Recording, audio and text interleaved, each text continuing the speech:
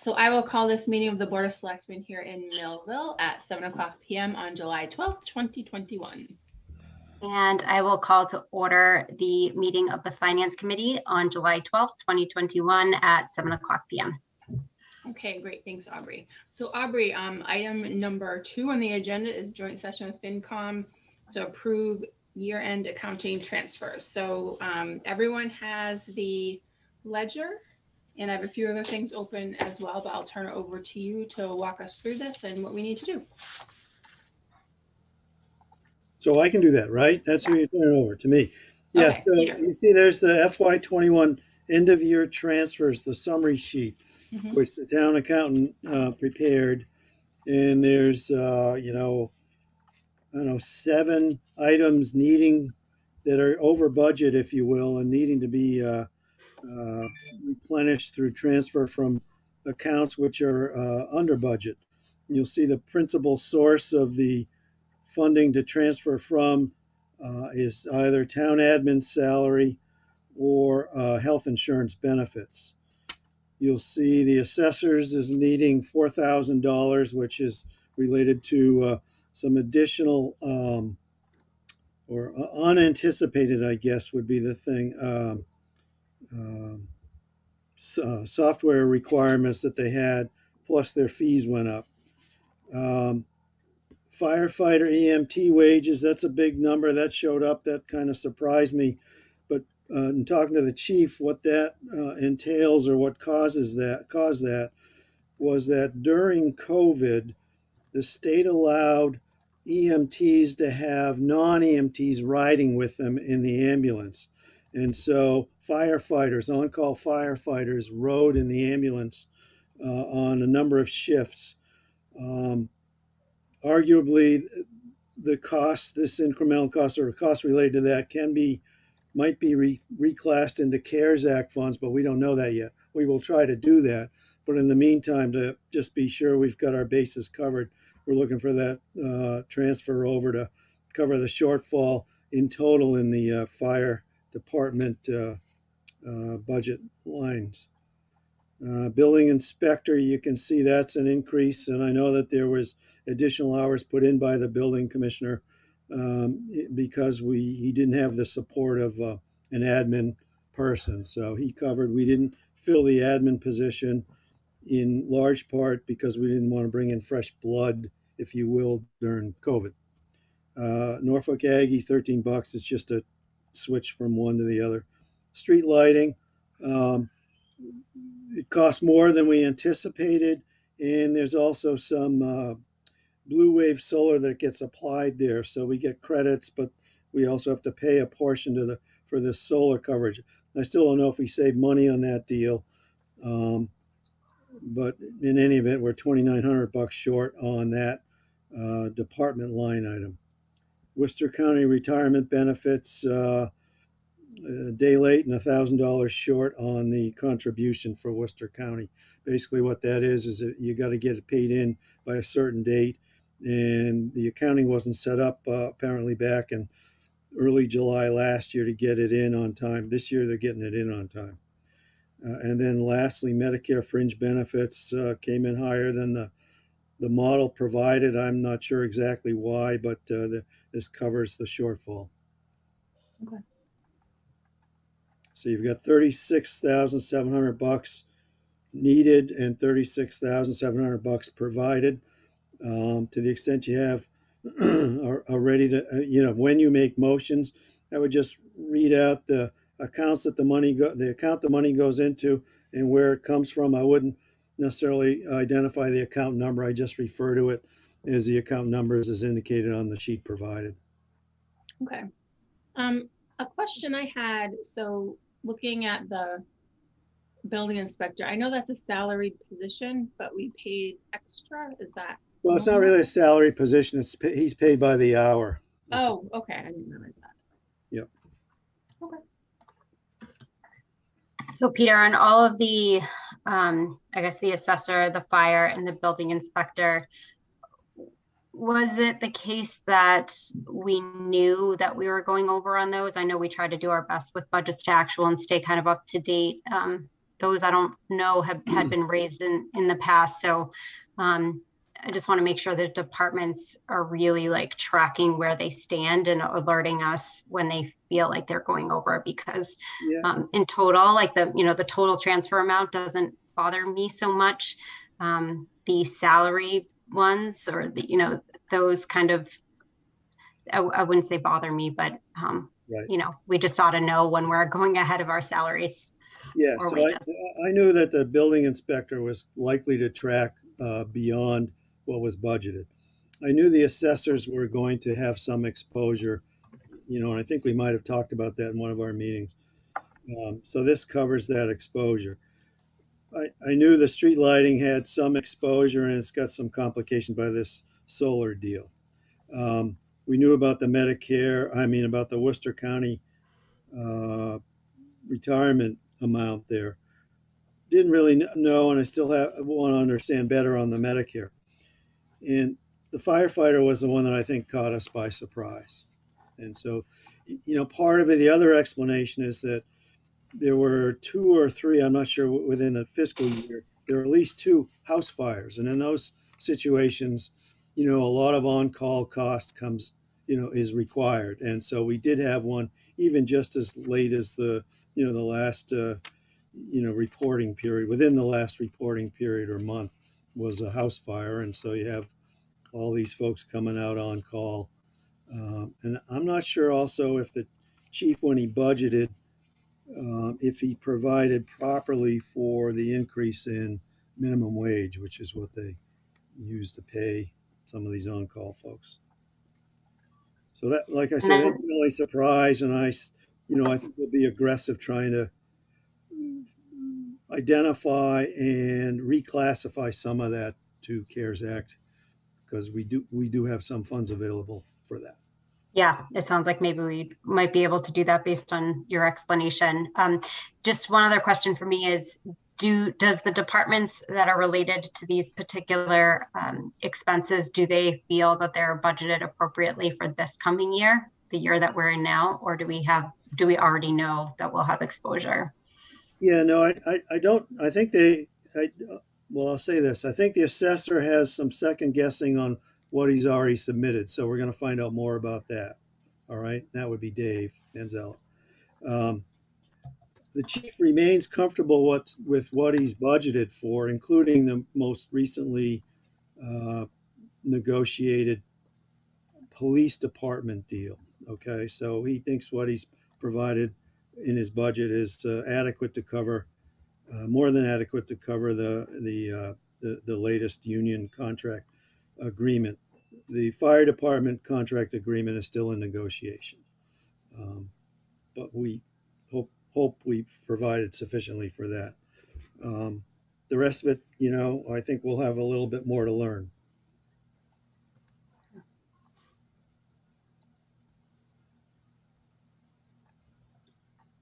Are there any other questions or comments from anyone?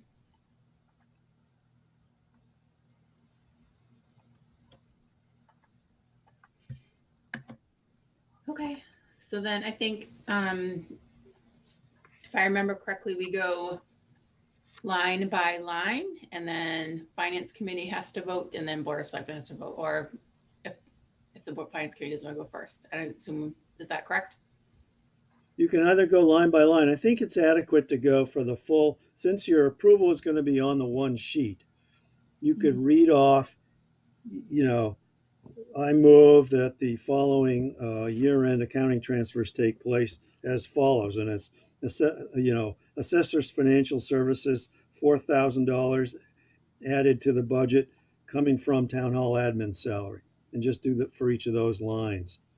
And I think that might just cover you. And I think that the finance committee could sort of say ditto substance. Works for me. Um, so looking, does anyone, I'll make the motion if no one else wants to, just to, okay. Thank you, Adrian. All right, um, so I'm making a motion for the following year-end transfers. That the assessor financial services will receive four thousand dollars from the town hall admin salary, also the amount of four thousand dollars. that the firefighter EMT part-time wages will receive twenty thousand dollars from the health insurance fringe benefits on behalf of employees in the amount of twenty thousand dollars. That the building inspector and zoning enforcement salary will receive six thousand dollars, and that will come from the town hall admin salary in the amount of six thousand dollars. That Norfolk Aggie Transportation will receive thirteen dollars from the Tri-County Vocational Transportation account, also in the amount of thirteen dollars. That street lighting electricity will receive twenty-nine hundred dollars from the town hall admin salary, also the amount of twenty-nine hundred dollars. For the Worcester County Retirement Fringe Benefits on behalf of employees will receive one thousand twelve dollars from the town hall admin salary in the full amount of one thousand twelve dollars. And Medicare Fringe Benefits on behalf of employees will receive two thousand eight hundred dollars from the town hall admin salary in the amount of two thousand eight hundred dollars. Looking for a second. Second. Thank you, Andrew. Any discussion? All those in favor? Aye. Aye. Aye.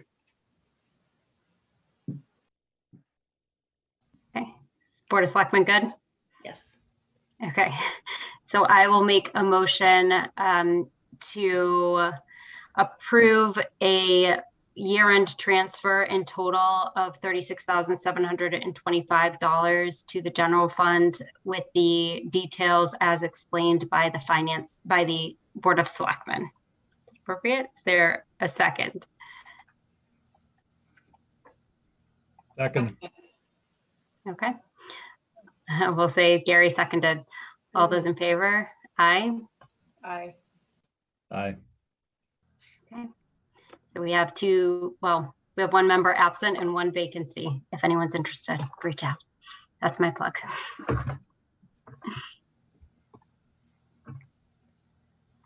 All right, so I think we're all set. So for the finance committee, you're welcome to hang out, but if you want to go do other things, that's also allowed.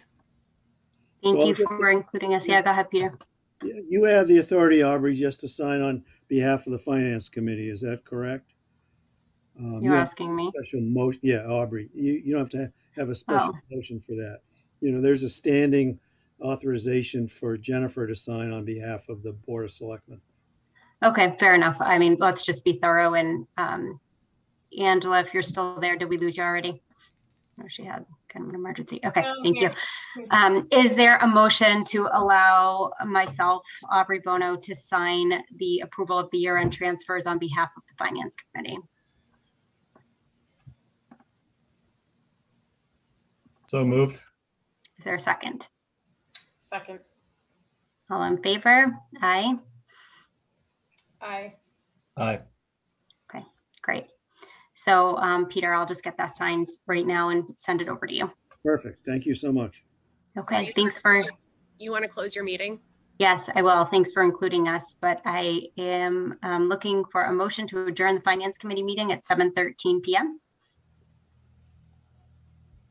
So moved. Second, Second. all in favor? Aye. Aye. Aye. Thank you, guys. Thank Thanks, you. Aubrey. Thank you. Take care. Bye. Hi. Okay, any announcements, Peter? No, I don't really have any. Nope. Okay. Correspondence, the MECC invoice. Yeah, I just want to put that in there. It's just showing you a nice win for the town. We're about to go live in the next month with the Metacomet Emergency Communications Center. It's fully, the cost of our participation is eighty-two thousand dollars and it's fully funded by state nine-one-one grant. And so we were invoiced uh, for eighty-two thousand and we were provided a credit due to the grant of eighty-two thousand dollars. So it's just a nice looking piece of paper where it says balance due zero. So I thought I would include that in the correspondence. All right, sounds good. So meeting minutes for June seventh and June twenty-first. Did everyone had a chance to look at those? Does um, anyone have any comments? I didn't see any errors myself. Anyone see anything? Andrew, you seem to have the eagle eye editing. Did you catch Um, anything? I didn't catch anything. Okay, great.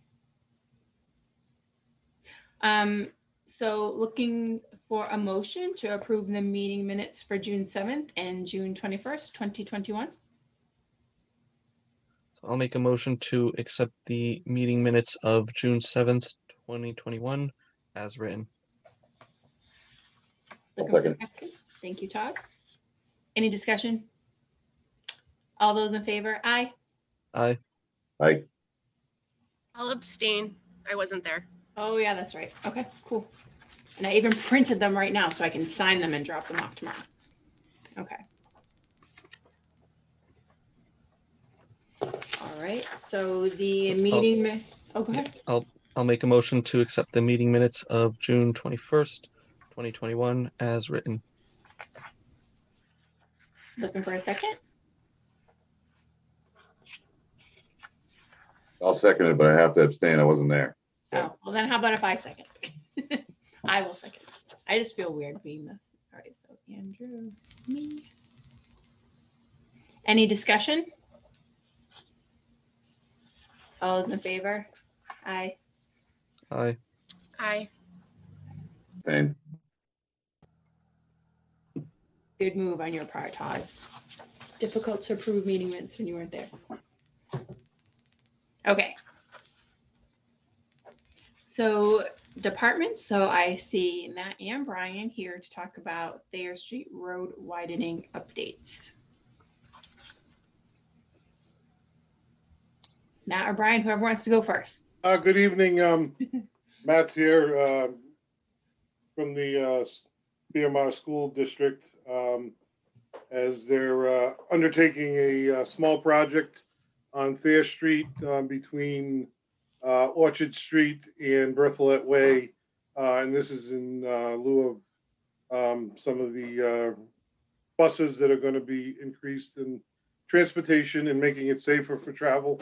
Um, at this time, I'll give it to Matt, let him explain what has uh, taken place so far and where it's going. Sure. Thank you, everybody. Uh, First and foremost, I'd like to thank Peter, Brian, and the town for your support and assistance with the project. I know these things are not always easy to get rolling, but we're, we're trying to make sure that we can open school on time and have everyone be able to get to the right school that they need to get to. So it's an important, important project. Um, So at this point, the district uh, had engaged Stephen O'Connell from Turning Point Engineering. He, their company was not able to join us today, but just to give a, a brief update, um, we met with uh, someone from Brian's team and we've spoken with the police department. We met on Thayer Street originally to review this, the general scope of work. And what was determined was um, the first thing that we needed to do was to remove some of the trees.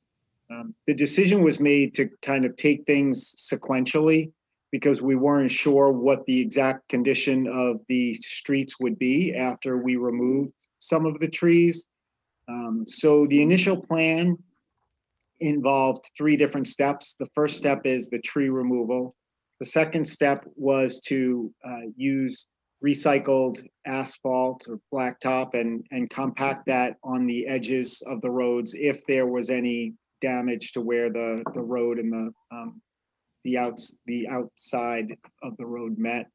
If it was necessary, just so that in the event that the uh, buses needed to go up on the past where we removed and up onto the shoulder, that's the term I'm looking for, the shoulder of the road, uh, that there would be some additional paved space.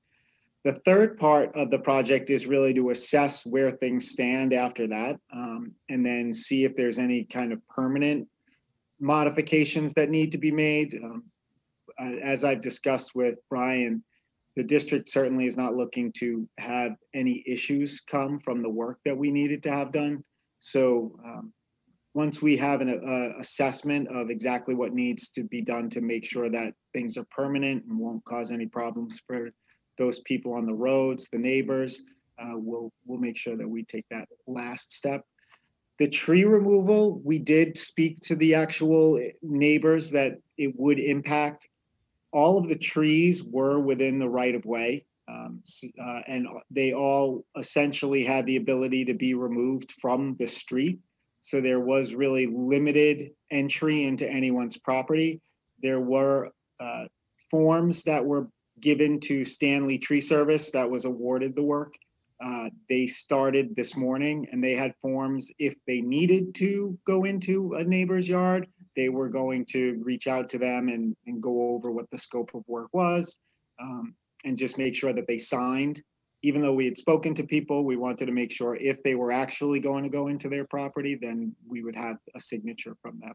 One neighbor that we knew we were going into their property, we already got their signature in advance of the work beginning this morning. But we left them with additional forms for everyone in that stretch between um, Orchard, between Orchard Street and Bertholet in case they needed to. Um, I don't believe that has been the case, but I, I, um, will follow up on that. And then after the trees are removed, again, we're gonna meet back out at the site and see what asphalt work needs to be done. And then potentially what permanent work needs to be done. But that's where things stand as of now. Okay. Any questions? or- Well, I guess, so it's, I saw this tree clearing today. Is that there more going on t- this week or is it just today? So it was scheduled for this week. We said that it would get done between the twelfth and the fifteenth. Quite honestly, I need to check back with Stanley to see what progress they made for today and then see if there's anything uh, for tomorrow. When I spoke to the police chief, we had arranged for there to be uh, they, for the police department to be ready to put details out in that area for at least today and tomorrow. But they knew that they were gonna check in with Stanley and the, and the officers that were on detail would give an update as to whether or not there was anything needed for tomorrow. But the chief was prepared to make whatever arrangements were needed for the remainder of the week as well. Okay. I just asked because that impacts my pickup route to get my daughter from camp. And so I have to go the long way around, all the way around Chestnut Hill to get to one twenty-two. I, I understand and I do apologize to anyone that's listening that uh, experiences an inconvenience due to this. um, But it will certainly pay in dividends when the kids are able to get to school safely and people can pass the buses going in the opposite direction. I have had to pull into a driveway to let a bus go by and then I can go. We're hoping to avoid that in the upcoming year. So we did make that decision this morning, um, or the police did, and they called upon, uh, the highway department. We went out in the, uh, put road closed signs up for them instead of just, um, letting one lane of traffic go. So we did detour traffic for the day. Um, I know the rain really slowed them down this morning. Um, they had a couple other issues from what I heard and saw this afternoon, so I, I do foresee this taking probably you know, the entire week. Um, you know, they're a very reputable company. Um, they do great work. They um, take pride and care in their work. So I, I really think that, you know, uh, we have nothing to worry about on that end of it. Thank you for that, Brian. And is it fair, excuse me, is it fair to say this is a, it's a district project, but they're the town's roads? And so you, you, Matt and Brian are working hand in hand on this. And whatever happens to the roads is really, uh, ultimately Brian's call, uh, you know, on behalf of the town. It, it's my call, but the district is uh, footing the bill for all of this. Yeah. Yeah, yeah. Yep, and Brian and I have been in touch through the, the entirety of the project. Peter, I know that you were involved in the beginning and then we looped you, looped you back in. Uh, I'm Whoever, happy to be looped out all the time, but uh, but no, no. It's just when I, the chief told me there was a detail going on for this. Uh, you know, it was like, oh, oh, oh, oh, well, I hope we're keeping people informed, and you certainly have been. So that's good. Yeah. thank you. We we are working closely together and we will continue to do so. Yep. Terrific. Thank you. Any other questions for Brian and Matt before we let them go? All right, well, again, gentlemen, you're welcome to stay, but if you want to go continue your evening elsewhere, certainly allowed. I'm going to go back into the school committee meeting, which is also in progress. So All right, sounds good. thank you all. Thank you. Take care. Have a good night. thank you, Matt. Bye, guys. Thank you, everyone. Okay. So next is the Board of Health intermunicipal agreement. So I was looking at the job descriptions and other things. Dustin, I assume you're here to speak about this this evening? Yes, I am. Great. Um, it's a, it's not gonna cost the town anything. and- And it's going to be pretty beneficial when we need a fill-in inspector. Mhm. And it won't be any out of pocket for Millville because our current inspector's been out on health issues. Okay. And we need to, and currently we are subbing out, we do have an interim inspector for our septic. But, um, it, this is just gonna cut, it's gonna be nice. It's gonna cut our costs down of our, uh, the interim inspector's fees. Okay. And is this, so just to make sure we're all talking about the same thing. So this is the Blackstone Valley Partnership for Public Health document that goes with Town of Millville. This is how we would enter into that agreement.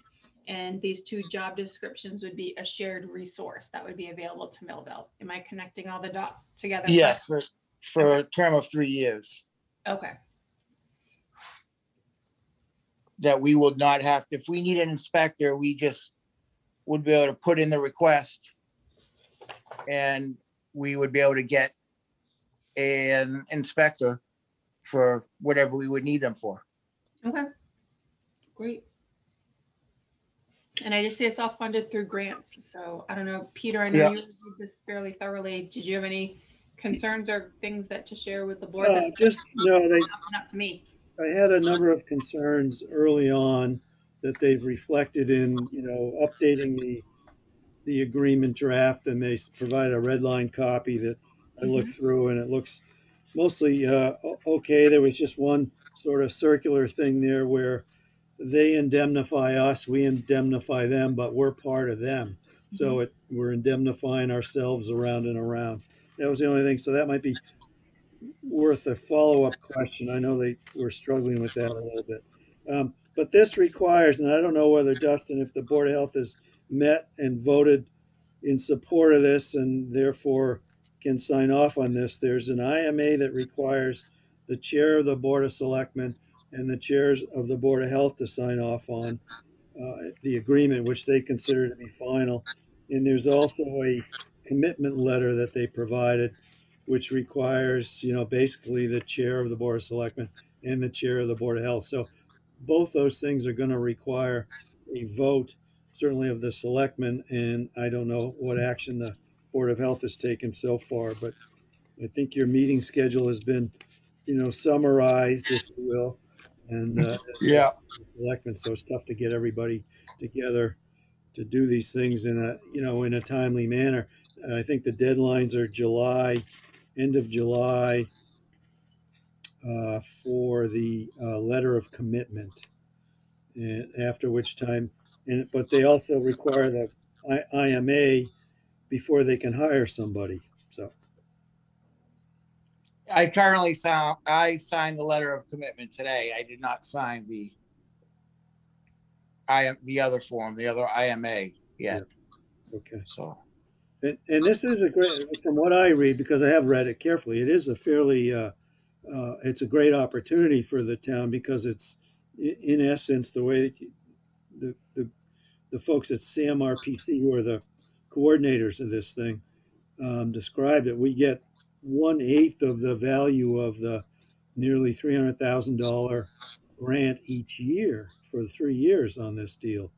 So you're going to get nearly, you know, almost forty thousand dollars worth of uh, board of health agent and whatever this other person is services, which can be beneficial and you know not only septic systems but you know uh, uh, restaurants and other things that uh, you know could use an outside look, and therefore maybe the town can save some cost otherwise. So hope it's Yes, on housing inspections and Yeah, all that. it's good. So it's a good thing, and um, I'd have to check back at our minutes. We- we- It has been talked about. I'm not sure if it's been voted on yet. But uh, But you would recommend doing this, Dustin, for the Board of Selectmen, and I see no reason for them not to take a vote tonight, both to authorize or approve the letter of commitment as well as approve the signature of the IMA. Would you, would you agree? I with would uh, definitely, I would recommend the Board of Selectmen taking a uh, yes vote on this. Okay. Any Well- other questions from anyone? Uh, I have one. So how would the, so if Millville needed an inspection for something, how exactly would that work? Who would they have to go through to get that? North, the town of Northbridge is running the program. So we would put the request into the town of Northbridge Okay. and they would take care of it for us. Would their Board of Health have to approve every time we needed a uh, inspection? Or I, I don't believe so. I'd have to check with Sherry. I don't, we think it requires an approval uh, because we're in it as equals. They're just running the I'd have to check with Sherry. I can't give you a hundred percent answer on that, uh, but I don't believe it needs approval. We just put the request in. Muted. I think you're on mute. Yep, sorry. Um, so the entity, here I am. Am I still on mute? Nope. Okay. It No. says, um, so the entity is this uh, Blackstone Valley Partnership for Public Health. That's the entity. And it, the, the employee is an employee of the two employees that they're dealing with under this will be employees of Northbridge who will serve as this entity health agent, if you will. And so I think the town will be dealing with this entity, if you will, through Northbridge, as he says, but it's not Northbridge's Board of Health. No, It's a little confusing. yeah, and we don't need their, we put the request in and now these, they're working for us for the job. That's right. And the Board of Health has to uh, put two people in on the on the oversight board of this entity. Okay, that's the governance of the entity. It's like the Board of Selectmen only. These will be the oversight board, and uh, it'll be one you know one member and one alternate as- appointed by the Board of Health for Millville or of each town. So that's really the boss of the agent who is an employee of Northbridge. okay. So I'm just That a little, that employee's reporting to this entity Mhm. overseen by the oversight board, but is muni- in municipal service an employee of Northbridge. so this oversight board or committee would be the one kind of scheduling where they were going. Okay. Yeah. but- Yes, basically it would be us, the Millville Board of Health would be scheduling this employee to where we need the inspection.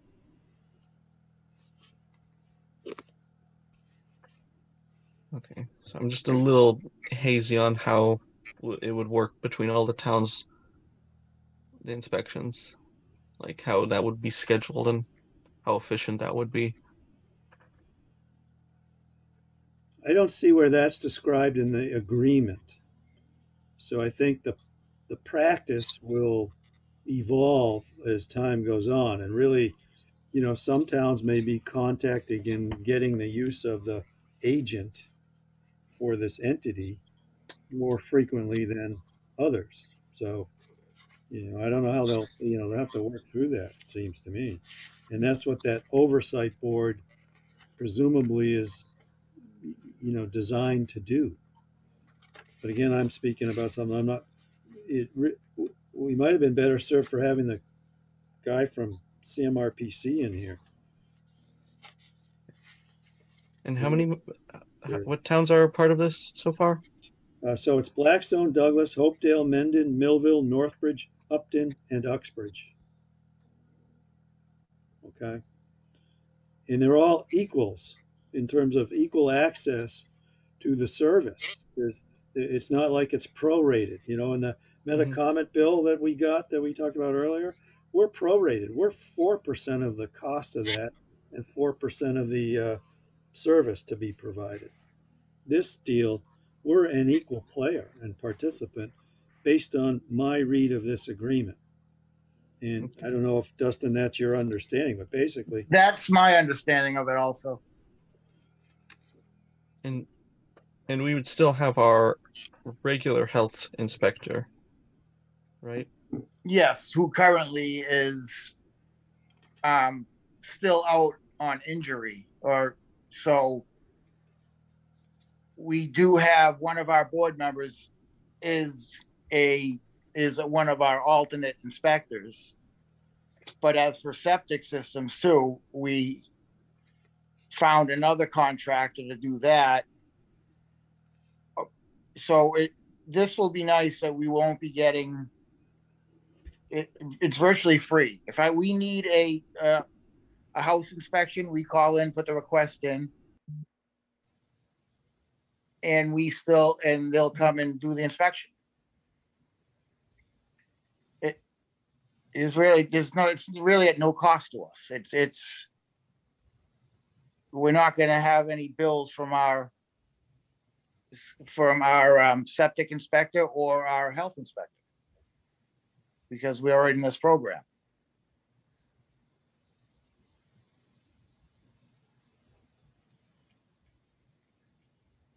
I, I'm just looking a little closer to your question, Andrew. In the in the IMA, it does say that staff will allocate their time in a way that is roughly proportional to each municipality's size according to population. Which is different than what Connor represented to me because we were going to be able to be a one eighth player. So they've since changed that, and I get I, either they changed that or neither of us knew that. So it's more prorated then. Yeah, yeah. Yeah, I was not aware of That that. is new. That is new. That is new. So it's not the one eighth deal that he first uh, responded to me with that when I asked a similar question. They're now prorating it along the lines of the Metacomet to the size of the, and, you know, the town. So we're not an equal player. Hmm. That's new.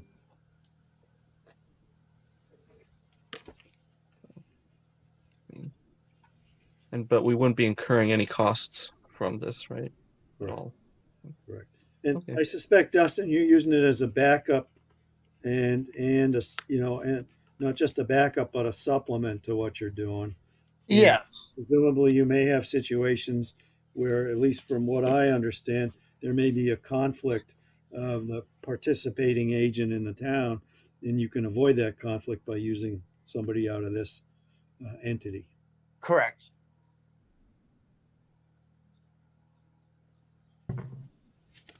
I mean, it, and again, it, it's, it's not costing us anything. So, um, uh, it, it's a good thing because we, we don't have any money coming out of our inspection. Okay. So. So I'm looking for a motion for Millville to enter into the intermunicipal agreement for regional public health services and for Jennifer Gill to be enabled to sign for that.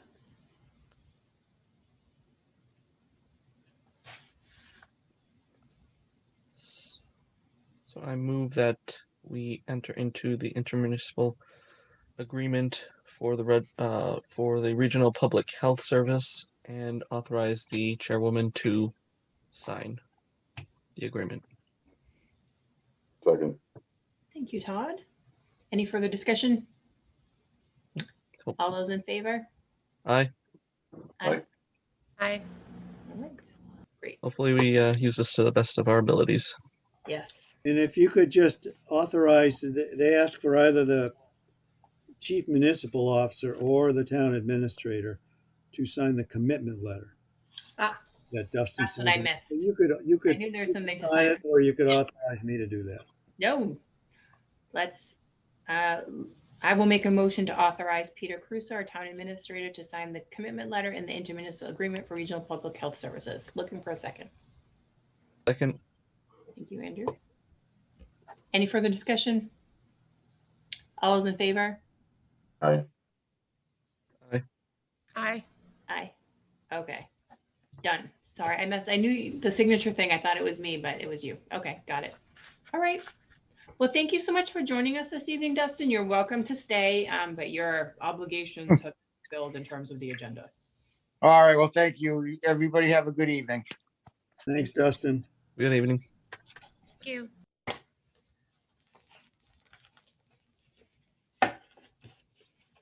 Okay. Um, so next on the agenda is the conflict of interest disclosure from the building commissioner, Lincoln Barber, and I see that Lincoln's here, so that's great.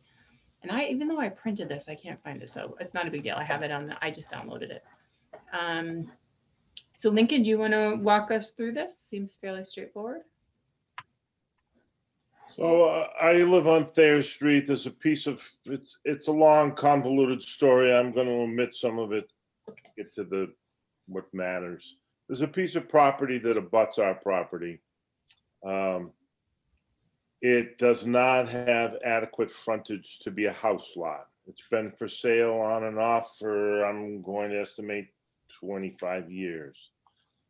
Um, It has the requirement of getting a variance to waive the frontage, which is uh, somewhere in the neighborhood of 50 feet, it needs 200. So any potential buyer typically would call the town hall and ask to speak with somebody in zoning or building, and that's myself. I had uh, just such a call the other day. So people are interested, if they're not familiar with the process, as to how one would make this a buildable lot or even more simple, is it a buildable lot? Um, and during the course of the conversation in discussing the history of the lot and what's required, it occurred to me that because I'm in a butter, which I divulged, and that I hold the position to issue building permits in town, it could be construed by a potential buyer that I could influence the use or not use of this lot, and that concerned me. So when I got off the phone, I called ethics and, and I had a conversation with them. And they said, you are correct, you need to address this. Um, you fill out the form that's in front of you and have a conversation with your appointing authority. And it's up to them to decide what to do. Uh, ultimately, the board takes a vote and uh, the chairman would fill out the bottom half of the form and it, and it gets, uh, becomes a permanent document in the town clerk's office. And I wanted to make sure that I was being fair to the seller because, um, I, I do have a position on this piece of land that I intend to, if I need to, um, you know, defend my position. So it's before the board. Uh, I'd be happy to answer any questions you have and we'll go from there. So, um, Lincoln, I had a question. So they, they have fifty feet and need hundred and fifty feet additional to meet the two hundred feet requirement? That's Or they correct. need, okay, They can't get the additional hundred and fifty feet, so they would be asking for a variance to waive the additional hundred and fifty. And we might be talking hundred and forty-eight. I'm, I'm not sure Yeah. exactly what it is. The, the seller of this property or the owner, um, died from COVID sometime last year. He has invested time and money in it, uh, been to the Conservation Commission.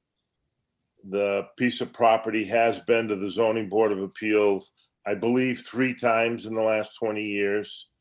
Uh, the first time, the, the zoning board granted a variance, the, the neighbors that abut the lot, which are five of us, all got together and hired an attorney and appealed the variance and ultimately was overturned.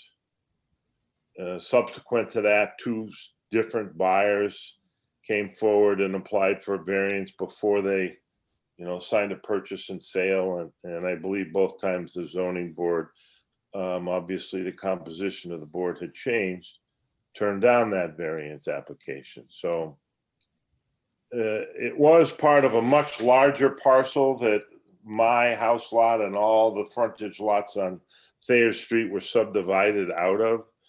The property owner uh, bought 30 acres, give or take, with two outlets on the Thayer Street. And then they cut, um, just to do round numbers, we'll say 24 acres off and uh, built a house for their, or their daughter built a house on it. And the other six acres is the parcel that's for sale now. Okay. And and I don't know if you'll know the answer to this, Link, because it's a law question. But I was wondering, so I, the two hundred feet of frontage required to build a house, when did that go into effect? I'm just wondering if we changed the rules while this person owned the property. No, not at all. Okay, so it's always been. you That's been uh, the zoning requirements. I'm fairly certain since zoning was adopted in Millville in 1977. Okay, He bought the piece of property subsequent to us buying this in 1985. So uh, I think they purchased the property sometime in the 90s. Okay. And they had the option of making a subdivision at that time. They chose to do what they did. okay. Yeah, so that would be my only concern is if they bought it and then we were like, oh, no, now the rules are different, because that, Uh, To some extent, they would be grandfathered if that was the case. Okay, great. All right. So um, I guess, so the direction you're looking for from us, I mean, I guess Lincoln, as long as you're having kind of a factual conversation that you're, they're saying, hey, is this build, buildable? You say, look, you don't have the adequate frontage, you can seek out a variance, but others have done that and not been successful. I mean. Right, but uh, to get to the point, uh, you know, the, the caller the other day asked specifically what's required. I said a variance. They said, has anyone applied in the past? And I said, yes. And I felt, um, and then they said, and what happened? And it happened three times. So I had to divulge what happened. And when I got off the phone, I said, you know, um, I think my honest answers to those questions could be, um, construed by a potential buyer that I could utilize my position to, um, you know, make it difficult to develop that land, and I didn't think that was fair to the seller. Okay, So I wanted everything on the table. And uh, unfortunately, I don't think there's anyone in the town hall that's knowledgeable enough to answer questions over the phone in a timely fashion. And because I've been involved in it in a long time, I can pretty much give you the history and all the players. But I think the town has to, you know, think about what their exposure is as far as what I say and, and be fair to the seller of the property. So uh, I, I believe in playing by the rules. yeah, go ahead, Adrian. I was just gonna say, um, so Lincoln, just with this particular property, is it something you could kind of write, not a script, but like the history down so you could refer them to Peter or something like that? Like, because that was gonna be my question. Is there anybody else that could answer questions just specifically about this property, just so that you can just, you know, be completely out of out of the conversation? So you know, appearances can be everything, even if it's an honest conversation. I think that's what you're getting to. Yeah, and, I, I- and honestly, I, I think that's the way we need to go. You need to give somebody else a, a brief page of, you know, and it's all public information. If they really want to delve deep, they can uh, go to the zoning board and say what's happened in the past, and then somebody on that board will have to dig up the information. But uh, uh, personally, I'd be more comfortable if I didn't field any more questions about that piece of land. Okay. Um. So Adrian, that's a great suggestion. I think we just need to have like a one pager with the facts and you can refer them to Peter and Peter can email them. These are the facts. And then if they want further, that work for you, Peter, or no? Yeah, no, I, I- know, and I appreciate Lincoln bringing this forward because he is in an awkward spot, particularly given his history of joining in a lawsuit of prior folks dealing with this. So he really has opportunity, if you will, to put the town in legal jeopardy. He doesn't want to do that.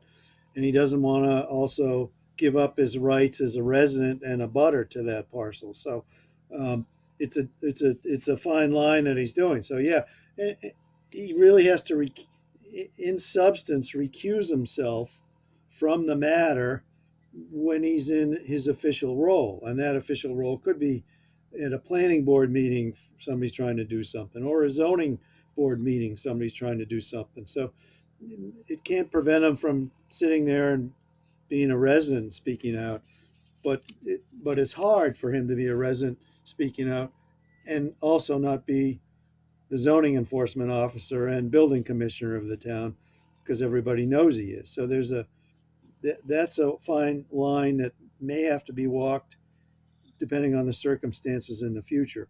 But for now, I think fielding questions and all of that, he best defer those from himself.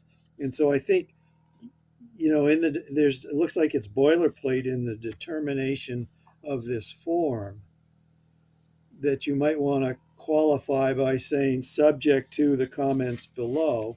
And there's a spot for comments where, you know, Lincoln needs to, in this matter, recuse himself uh, in his uh, his official duties on behalf of the town, and you know, or some wording like that that we all understand, he understands, and yet doesn't limit him to be a resident on the street where something might happen. Okay, that sounds good. Is that fair, Lincoln? Do you think that? Yeah, and I'll fill it in as best I can, but um, I, I, I think to be fair to the seller, I shouldn't be involved in any more discussions in my capacity with the town.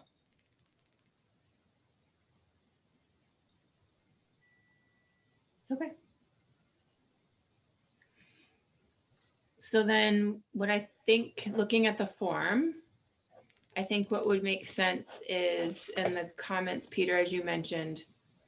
Um, so appointing authority signature, I'll sign, put the date, and then the comment I will put is that um, Lincoln Barber needs to recuse himself regarding this matter or for all questions to Peter Crusoe, Town Administrator. Is that reasonable and a- a workable solution? Or, or the zoning board of appeals. I- I- Okay, sure. People that are looking to buy property are looking for an answer in a timely fashion. Mm. So, um, you know, are you, are we now putting the town administrator in an awkward position because he's, uh, relaying hearsay information and not coming from the horse's mouth? I don't know. Yeah, I don't know. I don't know that you need to be specific to to Peter, but I, I'm you can. That's fine. Um, and I'm good at saying not saying a lot by saying a lot. You know. Um. Uh, Well, just, I but think, uh, but knowing the facts are key. So as as long as Lincoln has given me a, you know, the outline of the facts, I can explain why he can't comment on it because of his, you know, personal involvement, and that the limited information I have is such and such, and you know that's really all there is. And I think still you need to, you know, he needs to recuse himself from not only taking questions and conversations, but you, you know, acting in his role when the matter comes up before various boards in the town. okay, so, So I think just recuse himself in his official role on any matters related to this or any, you know, actions related to this. We, we can come up with some wording, you know, I might even touch base with smooth wording from counsel, but okay, you know, that's the That's fine. substance of what we want to do here and Lincoln's covered in the meantime to, uh, and the reason why I always suggest going to Peter is like, Peter might not know the answer, but he knows who knows the answer. You know what I mean? So it's like, well, what do you need to know? Yeah. I need to refer you here, or, you know, and I know that Peter wouldn't answer a question that would cause any issues, so he would know who to go to. Yeah. No, and there's a responsibility on a buyer to know how to ask questions and get answers when they're not immediately available from the party they want to get them from, you know? It's a big boys world And girls. and girls. I'm okay with you just saying big boys. I think Adrian is too. Um, so then I think maybe, Peter, do we want to, so we'll certainly get the right language from counsel, maybe vote on this and then I can sign it at the next meeting. Lincoln, are you okay with that for now, or is it something you needed resolved? I am, but in the meantime, I- I'm not, I'm going to refer any phone calls to, um, you know, Peter's desk. It's been for sale for years. Uh, the price was just reduced and land is at a premium and it has a very attractive price for the size. Mhm. So, uh, I think there will be more phone calls as time goes by. Um, it, has the stigma, whether it's coming from my mouth or somebody else's. So, Okay, thank you. thank you, Lincoln. Okay, You know, so I think so. Do we need Peter, uh, do we need Lincoln for anything else this evening? Any other questions, concerns? Okay, so Lincoln, you're welcome to stay, but you can drop too if you want. If you have an exciting evening planned. yeah, right. Okay.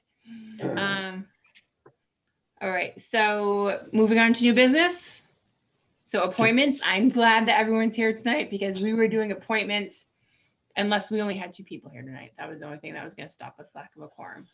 Um, so how this will work is I will read, and Peter, correct me if I'm wrong, I'm just gonna read the person's name and the title. If you want to hold it, you say hold. If you don't, then we just, I'll just keep reading. And the ones that are held, we mark those. Then we approve all the ones that were not held, and then we can go back and take them in order in terms of discussion on, on the ones that were held. Does that work for everyone? All right. So how many pages do I have to read? Uh, And you know what? I think we'll do one-year appointments and then the three-year appointments, and then go back and do the helds. Okay. So one-year appointments for a term of July 1st, 2021 to June 30th, 2022. Um, Lincoln Barber, Building Commissioner slash Inspector. Hold. Thank you. Okay, Todd, hold. Dale Bag, Bangma, Assistant Building Inspector. Jack Grenga, Electrical Inspector. John Diagostino, Plumbing Inspector. Timothy Labonte, Cable Coordinator. Timothy Labonte, Member. Jesse Dufault, Member. Madison Durant, Member. Colleen Curris, Member. Carl Hamilton, Member. On the Conservation Commission, Amy Sutherland, Member. Treasurer Collector's Office, Lisa LaRue, Treasurer Collector. Hold.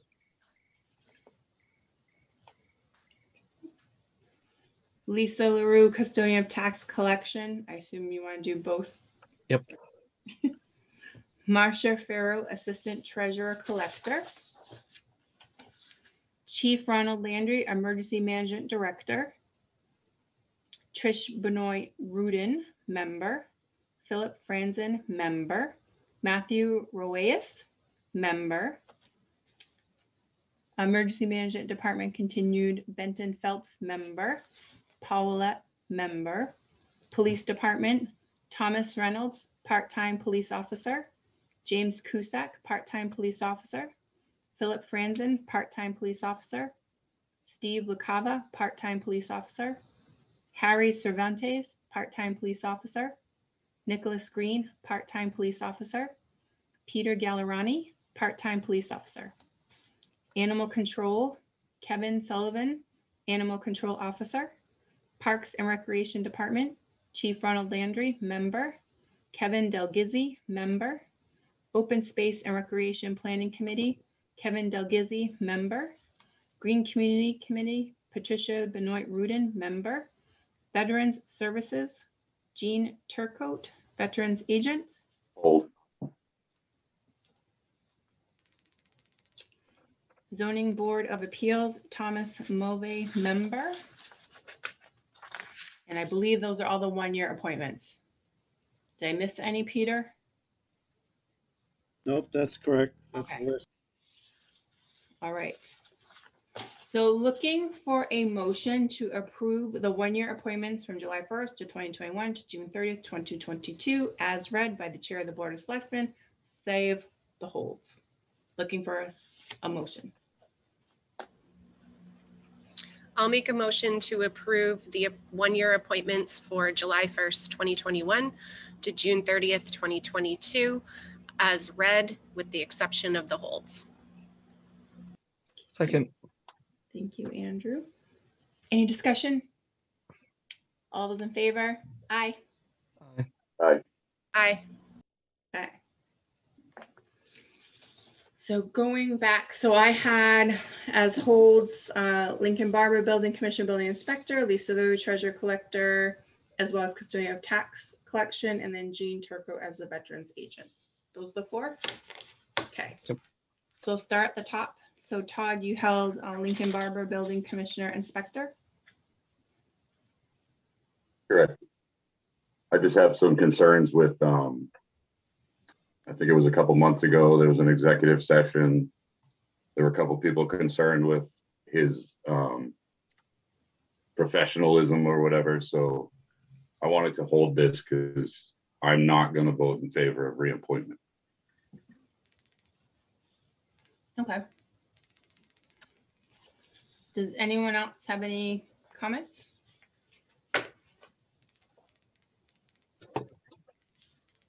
I guess my question is what happens if um, Lincoln is not reappointed? Because this is also a salary, not a salary, but an hourly position, correct, Peter? You're on mute. That's correct. It's an hourly position. He's an employee of the town. Uh, he's slightly different.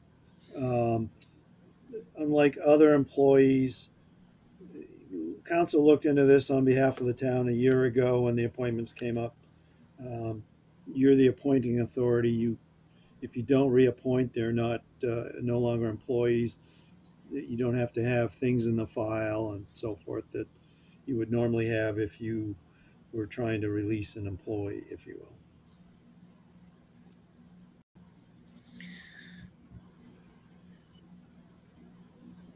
So I have comments as well. I'm going for eight flip flops as the over under. I have my notes. Um, okay, so as Todd mentioned, um, people came forward, and that was one of the things that people came forward when I was running. And there were two things that people came to me for. One was streetlights, and the other was um, the building inspector. Those are my hot election campaign items. Um, so people come forward with complaints, and there, you know, there was a few. The flip side of that is just like being on the board of selectmen, you know, building the being the building inspector, it's somewhat of a thankless job. And if something is taking too long, it's kind of easy for the contractor to point to the building inspector and be like, well, you know, Lincoln didn't get here yesterday and I told him to come. And, you know, there's kind of like a little hand waving there as well. Um, and the other thing that is when Lincoln's going to, or the bill, I should say building inspector, I'm sorry, I should use the title. The building inspector comes as to point things out that are incorrect and unsafe, right? Um, and that's how things kind of get, you know, someone's like, I've done it this way for 30 years. It's always been fine. It's like, well, this doesn't, they're not following the rules. Um, so it's not really welcomed feedback usually. And my experience in, you know, I talk about this with my husband. Um, we were on the ter- town administrator selection committee with the building inspector. We selected our fabulous town administrator, Peter, and he was fine. Like he was, you know, I didn't really have any issues. Um, and my experience was always okay. And recently, with everything that happened at the school and being in abutter to the school, and with the boiler and things like that, um, you know, there's cer- there's things that the building inspector caught that were they were being done incorrectly. the flip side of that is the reason why I got involved is because I felt like people that were in leadership positions, well, as long as my life is good and cheery, I don't care what anybody else does to other people. And I didn't really like that. And I didn't think that because things are going okay for me, I should ignore what other people are coming forward. And afterwards, and um, when we had the same building inspector get reappointed again, you know, a, a person did come out of the woodwork and say, you know, I appreciate your efforts, but they, we just don't, we're not a, a town of change and we just do things the way we do them. And that kind of made me sad, to be honest, that someone thought that we weren't going to listen to them. Um, and I have had a stomach ache for a week because I will say, like, reappointing this person doesn't make me feel like, yay, but not reappointing them doesn't make me feel like, yay, either. I feel kind of like, oh, I have a stomach ache no matter what. Um, so I thought a lot about this and I, I met with Peter and Lincoln again today. And something that this board and Adrian and Todd, you were on it, but many, many moons ago, um, actually, I think it was December or January, I don't know. Last year kind of goes together. Um, I had presented at a Board of Selectmen meeting to maybe we should do reviews and feedback and look at and post positions and have people apply. So I thought something that might be a good middle ground, um, and it's just a suggestion, we don't need to do it, and, you know, we can, you know, well, the majority of what the board thinks is what will happen.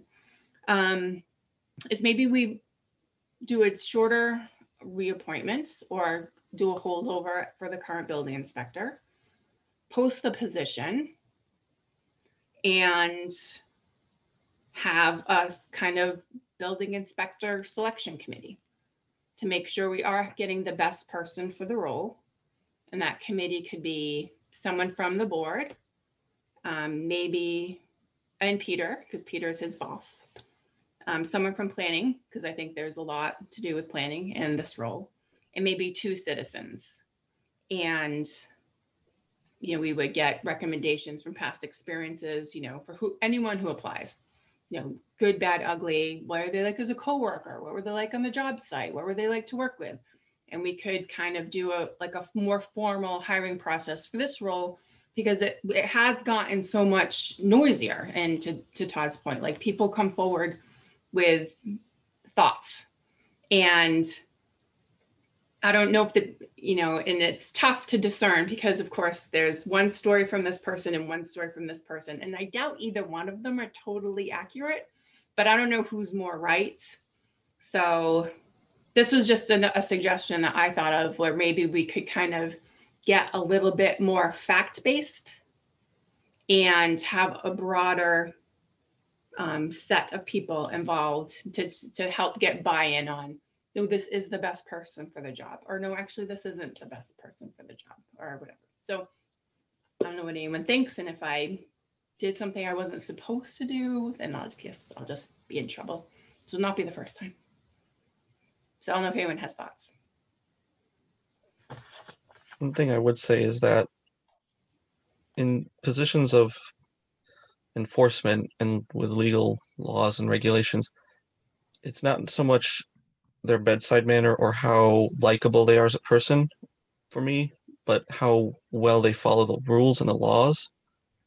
Um, and I think that's a key point. Uh, the previous building inspector we had was a shared one. That's my uh, apprehension with sharing positions between other towns. Um, and he never came. He rubber stamped things that should not have been, and he was very inadequate in a lot of ways. I haven't seen that with Barber, uh, the building current building inspector at the moment. So I'm okay for a review board, um, but not entirely think that it's a worthwhile endeavor, if you get my meaning. Yep. I guess the only point that I would make to that, Andrew, is we do have people who enforce things, like the chief Mhm. and the tax collector and like the treasurer, like taking Yes. your money. Yep. And we don't get the same kind of color as we do. Well, I my counter to that would be that the treasurer doesn't really have much one-on-one speaking, like dealing with people that much. they do to a degree, but much limited. And I guess we'll get to that um, position later. Um, but you know, I think Lincoln has to deal with people when they're not maybe the happiest because when you're building something, something's going wrong and money's going through and you're losing it and time's wasting, it's not exactly a peaceful situation. So yeah. Nope. But- I, that's all I had to say. okay.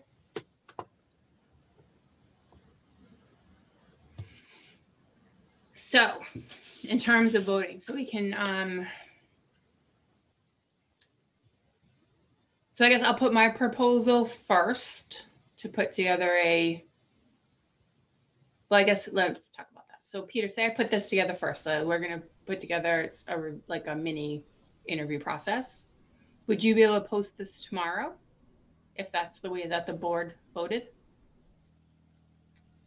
Uh, probably, I would certainly try, I guess, if that's what the board wants to do. You know, it's, we're not here to review Lincoln. We don't want to do that in this meeting. Nope.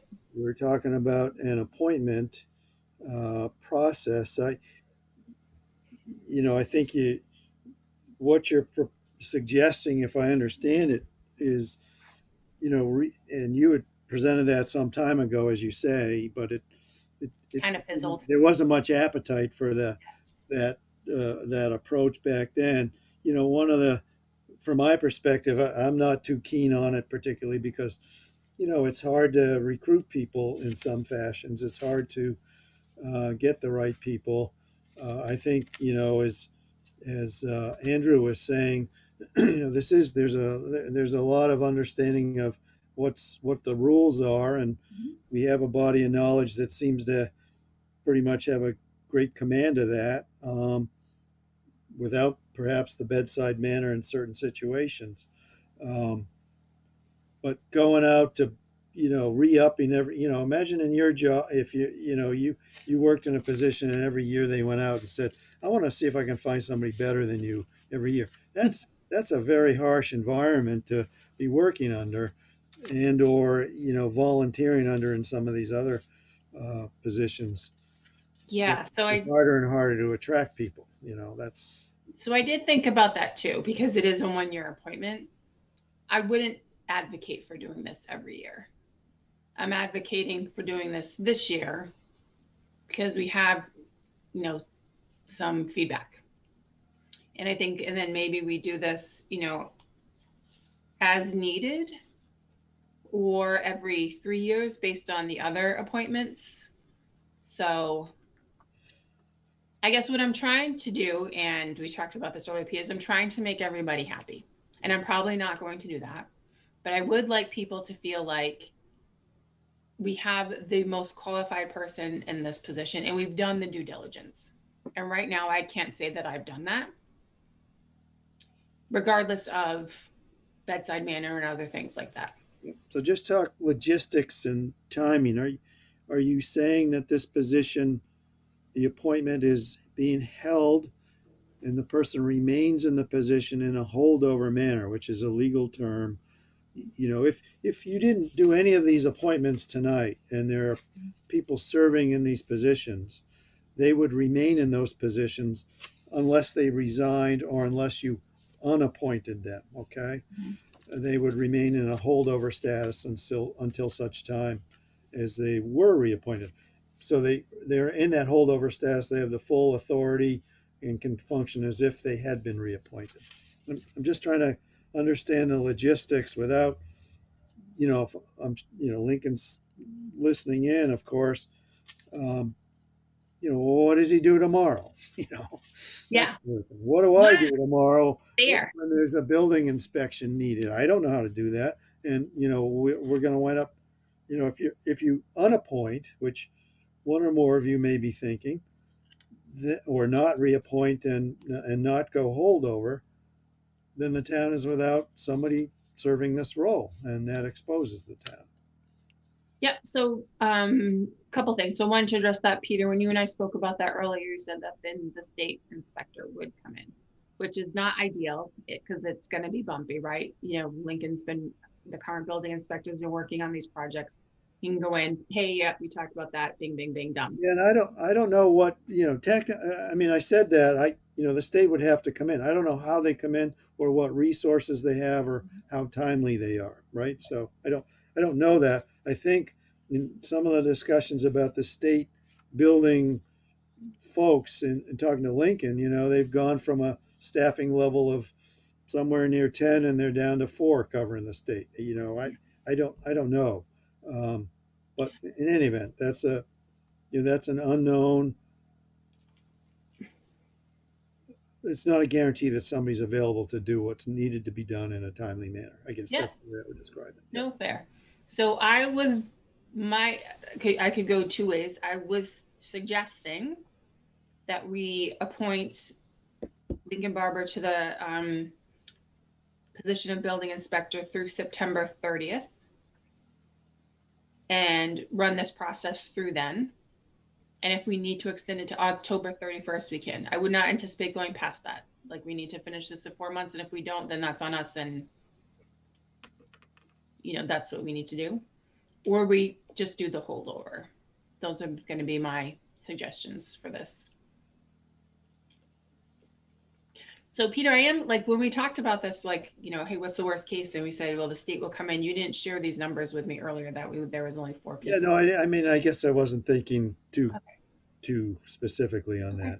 So when I ask you these questions, I would like that information then. Okay. So. uh, What to do? So, um. This is how we'll do it.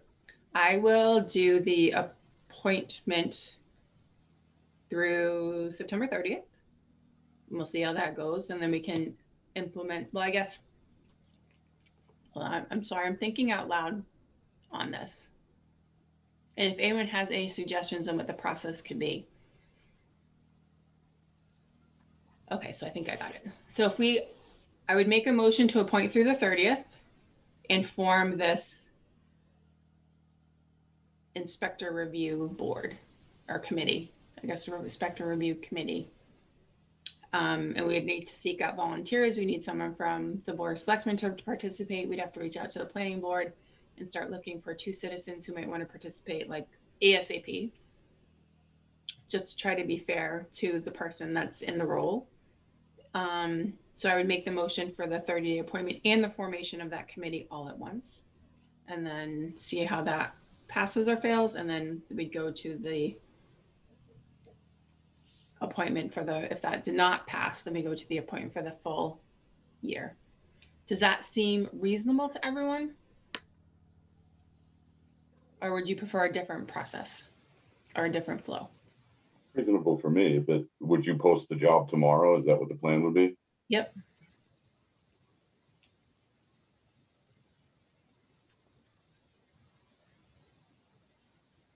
I'm having a hard time with this, to be honest, just No, in general, because I've had an addition put on my house. Um, and Lincoln was the building inspector at the time. Um, I guess I can give my feedback on my experience, but I feel like that's not really separating, you know, Board of Selectmen versus like citizen experience. So, um, you know, I guess I would say the similar thing that Lincoln knows what he's doing. And he's, um, you know, my experience was that there were certain things that we had to get engineering to sign off on and stuff because of the situation that we were in. And we're able to do that. And it can be frustrating. But I think at the end of the day, what ended up getting um, done because of that is probably better structurally for our home. Um, you know, I agree that um, the experience in terms of interactions could have been more um, fun or just nice, you know, just nicer in general. But um, but I also think, at least from what I understand over the past few years, from the pre- previous building inspector to now, is there were a lot of outstanding permits that weren't closed, and that the current building inspector did a lot of work to get everything updated and closed out. Um, that doesn't necessarily mean that there isn't somebody else from a review perspective that could do just as good of a job. Um, so, but I just, I guess I have a hard time even voting on this because of my personal experience. Um, and so, but I know we need, you know, we need a certain number to pass. So I guess I should just say that's, I'll base my decision based on the work that I know has been done. I haven't received the complaints so much because people haven't reached out to me on that. Um, so that's where I stand right now. I don't know if that's helpful or not. I have One quick question for Mr. uh, Caruso. Last year, when we were doing this uh, process, um, I think it was mentioned that we you'd have some uh, one-on-one sessions with the building inspector to kind of improve his um, manners towards um, residents. Did those take place, or what happened to that? Uh, we interact quite frequently. We, you know, I'm a supervisor. I'm not a subject matter expert. I, uh, we had a session today with uh, Selectman Gill, you know, and the- hard thing to identify is what's the problem and how does one solve it, you know, specifically.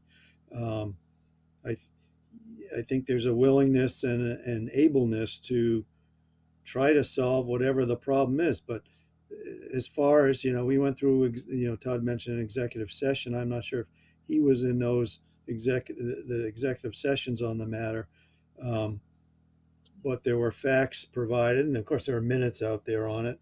Um, there were there were facts provided, there were conversations had, and so forth. And since then, you know, I've seen few. I, I have hearsay, but I have very few specific complaints, and part of my role is to address complaints. And so, since then, there, you know, I don't know that I've even had any specific complaints um, put forth to me.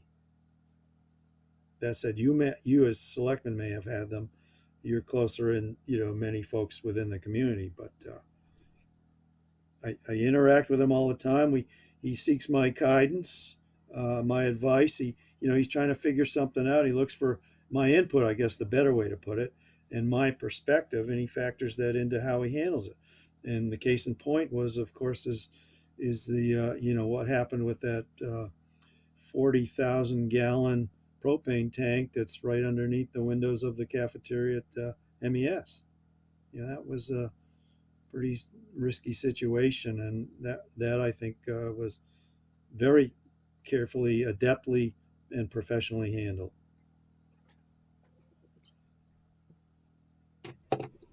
So maybe, I mean, again, I don't know because I haven't received anything, but maybe the answer is appointing tonight for the one year and then, you know, come November. And it sounds like this was kind of what you were trying to accomplish last year, Jen, but I don't know how many conversations were had um, about, you know, what the complaints were and just be more transparent as they come up to see how things may change in terms of interaction and then you know in the november timeframe kind of think about okay like if we think we're going to need to look for another building inspector let's do that now before the appointments come back up and give like a six month process to do that. I don't know. Yeah, I guess the reason why I wanted to do this now is, um, like at least like the shorter appointment and kind of see, do we have the best person is I think that people in Millville do want to see a change in this role. Um, the flip side of that is exactly what Andrew said, is that we have someone who's in the role, who's knowledgeable and just, you know, rubs people the wrong way. And um, but it's enough that people want to see a change in this role. So I'm trying to navigate this and say, here's how I'm going to meet you in the middle. We're going to do a shorter term in review. And then we can come back and let tell everyone, hey, you wanted this change, and I heard you and I understand it. We looked into it and we really do have the best person. And, you know, um, you know, today Lincoln jokingly said, you know, I'll go to charm school. And I was like, you know, may, and maybe that's the answer. Um, but I just first want to show that we've made an on, we're hearing you, we're making an honest effort. Appreciate your comments. But we did this due diligence. And this is what we figured out. Um, and because this came up last year and then just re, doing the blanket reporting for a year again, it's like, so you're not listening to me making any of the changes. Thanks. I feel like there will be feedback like that. I know I will get feedback like that.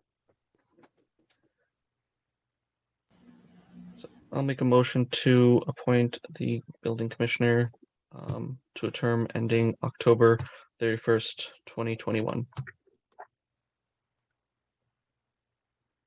With the formation of a committee to, I was gonna do that as a second one. Do you want me to do? Okay, okay, no, no, I, th- uh, we can do a separate, okay. Okay. Looking for a second?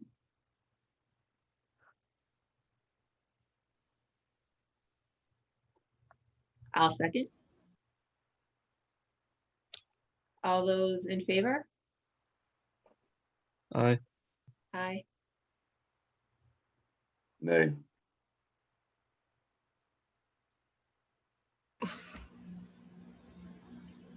Um, You should have spoke sooner. Now you have to be the decider. I know. I could abstain, Jen. I'll say aye. I make a motion to form a investigate, uh, investigate, uh, a committee to Community. investigating, yeah, sorry, investigating committee t- uh, for the building commissioner position, uh, consisting of members of the planning board, um, uh, selectmen, uh, members of the community, and we want to include the zoning or not. Zoning might be good, and then I think a member of the board of selectmen too. I, yeah, I said one selectman, community member, and, um, uh, so one, one community member, I mean, two community members, one zoning board member, uh, one planning board, and one board of selectmen member to form an investigator committee.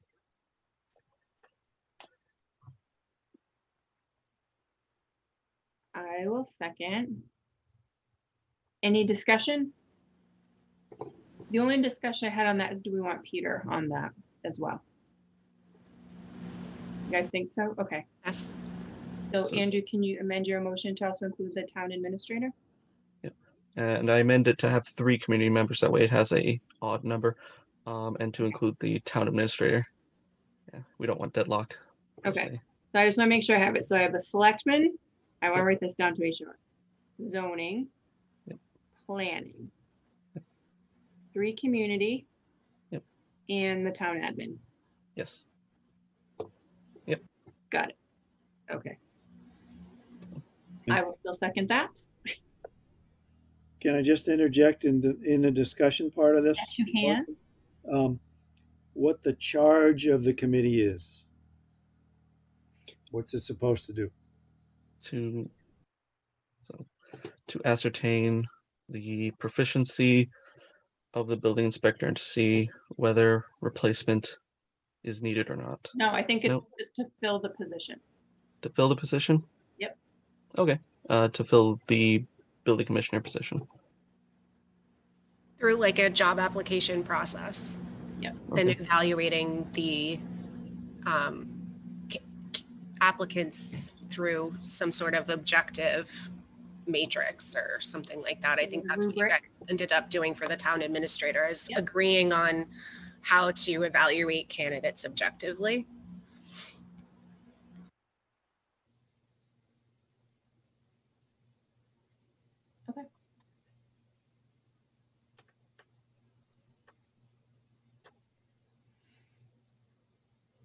So Peter, like with the town administr, uh, search committee, I wasn't, um, like, I remember when they formed it, but I don't. So we would have to write up, should we draft a charter right now in this meeting to No, I provide? just want a little more clarity as what, what the group is doing. I think you, it's a job search and it's, Mhm. you know, evaluate applicants and perhaps interview them and Mhm. make a recommendation to the Board of Selectmen, presumably of uh, someone to appoint, which could in fact be uh, Lincoln Barber. Yes, it could. Right. Okay, I get that. Okay. I'll second it again, third time. Any other discussion? Okay, all those in favor? Aye. Aye. Hi. All right, so I know I tried to make everybody happy with that and I probably made no one happy, so at least it's even. Um, but this way we can kind of, one way or the other, if we move forward and it's still the same gentleman in that position, everyone will know that we did everything we could to make sure we have the absolute best person in that role. So, okay, great. Okay, that's one of the discussion ones, only four more to go, three more to go. One it- Question, Jen, on this. Um, the Board of Selectmen ultimately will appoint the committee. Is that correct? So once the citizens and the, well, I would assume the planning board would nominate somebody and then the citizens, whoever applied to be on the committee, the Board of Selectmen would ultimately choose those people. Correct. Okay. So actually, just to kind of stay on this topic, um, if we want to finish this by the end of October, um, we might want to think about, when's our next meeting, Peter? August?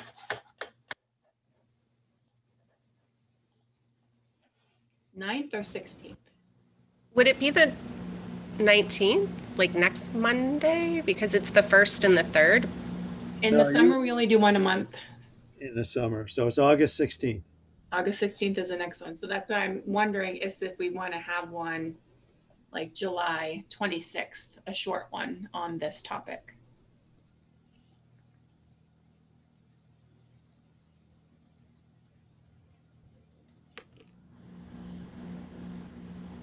Okay, well, we can save that to the end, but just think about that. We might want to um, get people together and just because I, you know, I don't want anyone to, you know, Oh, we lost Andrew. Okay, well, I just wouldn't want, you know, the faster we can resolve this, then the more job security we provide for who- who's ever in the role ultimately, so. Okay. We need Andrew because his next two, the next two are Lisa.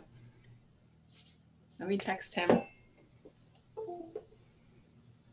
Uh, Okay, well, we can, why don't, we're going to be skipping, Peter, I hope that's okay with format to go to the veteran services since we lost Andrew. Yeah.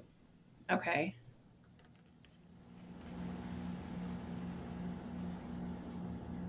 So Todd, over to you once again. All right, so this position was appointed over a year ago, and I've recently discovered that this individual still doesn't have a computer set up and hasn't helped anybody in the past year. Most of the information on this position is still coming to me.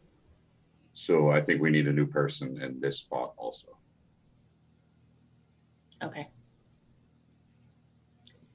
Peter, is that all confirmed behavior like? No, he- well, he does have his computer set up at town hall. It, it took a while because of COVID, tried to get him remotely set up, but now he's set up at town hall.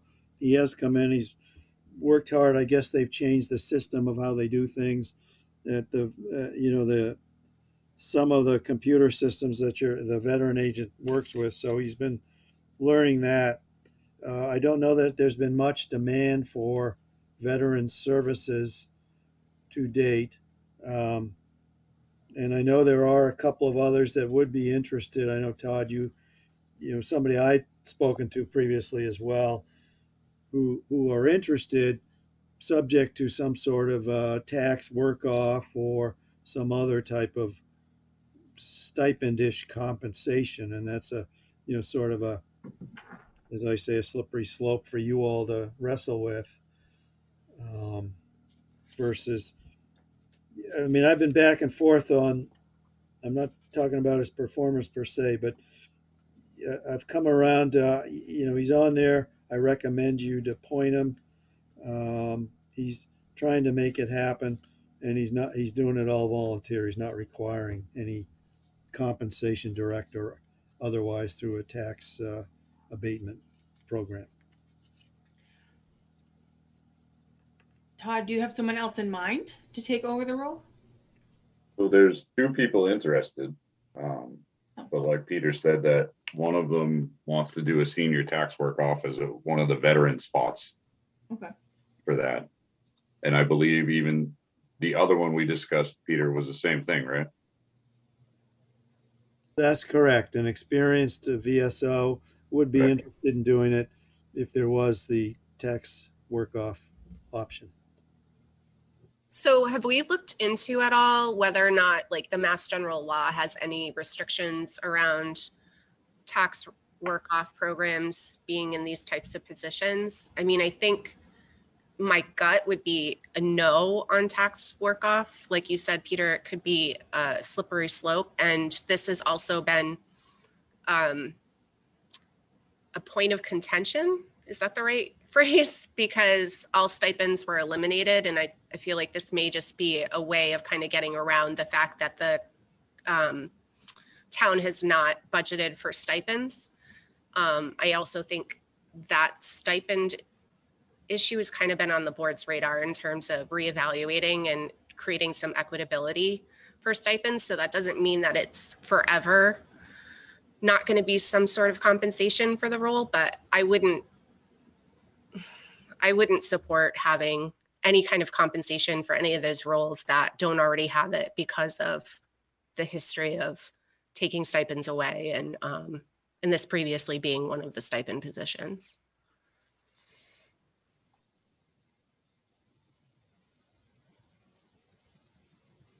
But let me ask you another question, Peter, in terms of these appointments. How are the appointments out there for people to apply for regardless of whether or not we have somebody that's an incumbent? So like if this like was veteran service agent something that we could have had both the person that is currently in the role say I would like to do it and then other people be made aware that this role is open and you can also tell us you're interested regardless of whether or not there's already someone who's been doing it that's interested. Yeah, so I think on the website, there's a list of vacancies and a list of terms uh, that were up for, you know, positions up for renewal um, that has been up there. I, you know, I have to double check on that second piece, but I'm pretty sure it was up there so that someone could see a position is up for reappointment or the term ends on, on somebody filling a position. And the, you know, the town's open to anybody sub- expressing interest to be considered for appointment to a position. There's no restriction on that. We're not uh, actively seeking, we're actively seeking fresh blood. Every, you know, I, uh, you know, I'm talking my TA update. I went to the senior center luncheon today and, you know, I'm pushing for volunteers, folks of that crowd to come volunteer. We have plenty of vacancies and, you know, a variety of positions. Um, so I don't know if that helps answer your question Uh, on the legality. Haven't sought the legality of, of whether you can or not. I, I, I guess that thought hadn't occurred to me. I, I, I don't know that there's a restriction. I don't believe there's a, you know, a tax work off restriction for people to participate in that program. But that's a good question. That's worth learning a little more about.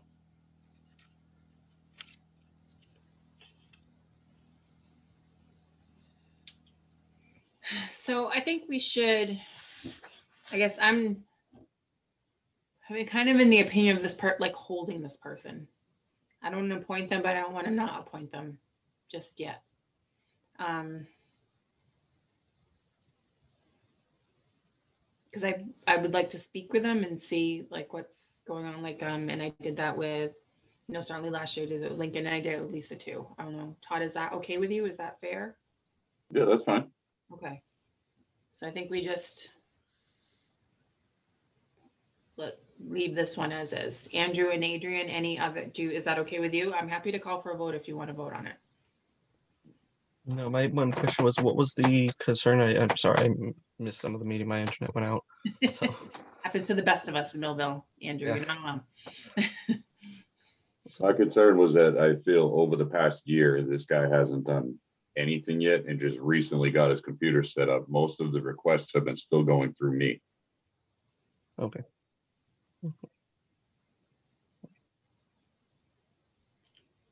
And then there are alternatives, Andrew, other gen, uh, people, I don't want to say gentlemen in case there's women, but other people who are interested. And, um, but they would, they would want to do it in the context of the senior tax work off. Um, however, one thing Peter said that intrigued me was an experienced VSO, like if there's someone who's experienced as a veteran service officer, like, and they can be creative and get a little bit more for veterans in Millville, that that might be appealing. So I would, cer- I'd want to talk to all three people and then see. Mhm. Is that okay with everybody? Yeah, I won't Yeah. mention any names, but the, the, the, the, that last piece is, uh, I'll talk to you offline. Okay, sounds good. Should we, um, Peter, would it make sense at the next Board of Selectmen meeting to have these three individuals come and say, hey, I'm interested here, like, or is that too out in the open? Would they be, would that be too intimidating, I guess? I guess when I talk to Mike and ask them and say, you know, I'd love to just have you come and meet the board and, and talk about yourself and say why you want to do this. Um, yeah, I don't know. I, I, I, I don't know. Well, I looked at Todd. He was the, and he had some experience with it. Would you have wanted to have met with the board when you? Absolutely not. Come on, we're fun. that's the key, you know, I mean, he, he was, uh, willing to do it and he did it. And, uh, there was some action. There were, you know, people in need and they Okay. were, you know, high need and, uh, he helped. Okay. So, well, I would like to meet with him, Peter, if you could send me the names of the three individuals and then if you wouldn't mind sending to everyone on the Board of Selectmen, just to Yep. reach out. Yep. I don't, um, I don't think we do enough of this, like the, the talking to everyone, so. Um, okay, Okay. all right, so Andrew, thank you Yep. for, I'm sorry that happened. It happens. Yeah, a lot, And it's always at the worst time. But, uh, you held Lisa LaRue for the position of treasurer collector and custodian of tax collection, so Yep. what, So without getting into too many details, um, the current one has been there for quite some time.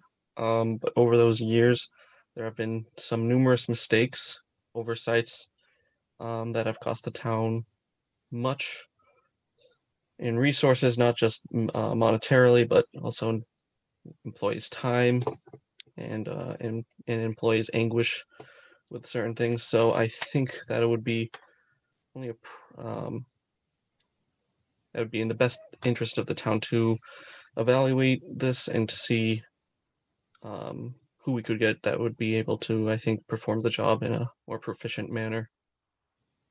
So So Andrew, do you have examples of, um, I mean, I understand you don't want to get into many details, but I think it's kind of important to understand what you're referring to and then also get Peter's view on that as well. I think we need to do that in executives. yeah, because Oh, I think we can't do a rev- review. So. Yeah.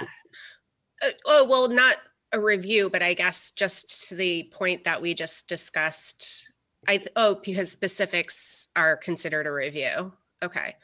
Um, well, we just discussed the building inspector position. I guess have any of the other, or, or even you, Andrew, received any complaints about the treasurer collector's office in, say, the past year? So I haven't received any, um, but I have focused, I have seen, we have on my tenure, we have had numerous problems, one of which was the retirement funds mishandling, which cost the town some money as it was mismanaged and uh, was not properly, funds were not properly allocated to that resource. Um, in addition, I think that um, even though we had gone over this, selectman, the chairman, chairwoman, uh, and I had on the previous year's discussion of reappointments, but the whole issue of our former town accountant um, and that whole over oversight, lack of oppers, you know, observation, lack of looking into matters strikes me as, eh, to be frank, gross incompetence and a bit idiotic because you can't sign things and not read into what they are. Um, and um, so those are the two big issues. I'm sure there are others. I have over mm, not seen or don't remember at the moment, but those two I think are easily meritable to Yeah. look into this a little bit closer. So we can certainly do that. Adrian, the reason why I was okay talking about the building inspector stuff is because those meeting minutes have been published. So it's public. Um, Okay, that's understandable. yeah. So, and then I didn't bring up any new information because not yet published or discussed. Um, so I, the only thing I will say with Andrew, because, um, so last year I, uh, I held, um, Lisa LaRue's appointment as well. And, um, I think what we're, what we need to do is if we want to expand the scope of her position, we can do that. I think we probably need to have an executive session meeting, really is what the end of the day this is. But um, I will tell you what we discussed in the public, and I think it was September 9th, twenty twenty, if you want to go back and watch the beginning part of that meeting. Um, Did we do that in executive session?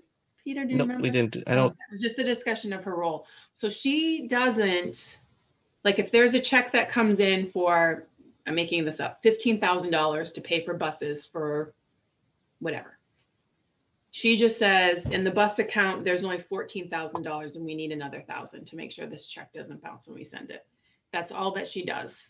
Uh, We're pen, spending this much, is there this much in that account? Um, and that's real, when I when we spoke about this and looked at what other, this is what the role of the treasurer is. When we're withdrawing from an account, an amount, is there the right amount to withdraw? So we can certainly expand her role.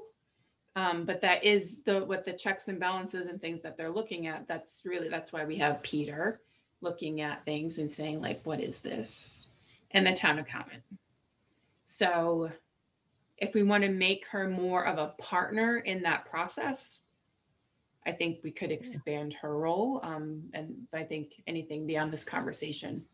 So I don't know, Peter, if you had anything to add, or if you think, hey, you're right at the line, we need to go to executive session. Yeah, no, I- I- I guess a couple of things come to mind. Just in, I, I understand Andrew's, you know, concern, if you will, or hesitation. Um, there's nothing new since we last addressed this topic. I would say that's come forth. Um, in terms of what Jen was just describing, in the review of warrants payable, the town accountant prepares it. The treasurer signs off that the funds are available to uh, to to fund the checks that get, get cut, and yours truly signs off uh, in lieu of. In some towns, the board of selectmen sign off on the warrants. Here, by under your bylaws, the you know the town administrator does that. So I review. Yes, I ask questions. Yes, uh, I look at things, make sure they're not you know Suspicious. that's right. Um, and of course, the, the town's very sensitive to such things given its uh, prior history. Uh, in terms of the, uh, I'm not sure of what you were specifically referring to in the retirement funds, but, yes, we had to pay a little extra on the, we didn't take advantage of the, um, the, um, the discounts. Uh, We didn't, we were unable to take advantage, full advantage of the discounts available by paying, prepaying, if you will, the retire the town's participation in the retirement plan. Um, so it cost us an extra thousand bucks, and the reason for that isn't necessarily the uh, the the onus on the treasurer. I'll, I'll I'll put the blame on the prior town account, not the not the one under indictment, but the one that left, and he'll I'll speak to him and tell There's him. so I- many of them. yeah. So, but in any event, it's a function of trying to set up the ability to pay the next fiscal year's bills. And there's a very short window to take advantage of the discount. And last year, that window was not. Uh, S- So so that's why we I'm actually referring. you had to do a transfer tonight for that account. So I, I don't know if I'm we're speaking about the same thing because the thing I was talking about was a little bit more than a thousand dollars that the town dished out. Okay. Okay. And this was a while ago. This was We should- probably six, maybe seven years ago. So it was a long time ago. Yeah. So, um, but it was definitely a big problem that was kind of swept under the rug. So, but I don't think that we should just continue to ignore it. So, Yeah. Well, so I guess you're either going to an executive session at a future Yeah. date to have discussion, and or you go the the building inspector committee route. And you might tack on a position into that grouping even. You know, so the, just try, lis- listening to your concerns and how do we move forward again? What happens tomorrow for people? Do they show up or don't they show up? And, uh, and do they show up, but they're still wondering what's going on? At least what you did with the building inspector's uh, position is at least provided a date by which action happens. Yeah. Um, and maybe that's, I don't know if your level of comfort or lack thereof makes you want to do something like that in this, this situation. It's a suggestion to consider. What do you think, Andrew? I mean, we can, yeah, I think that'd be okay to do the same length of time, same basic setup. I'd be admittable, um, I'd be okay with that. Um, I guess I don't see something happening six or seven years ago when we also had some accounting issues in general, just with the ledger and turnover to be something that I would consider. So um, I would prefer to first vote on the appointment um, before considering adding this position to the um, search committee type role.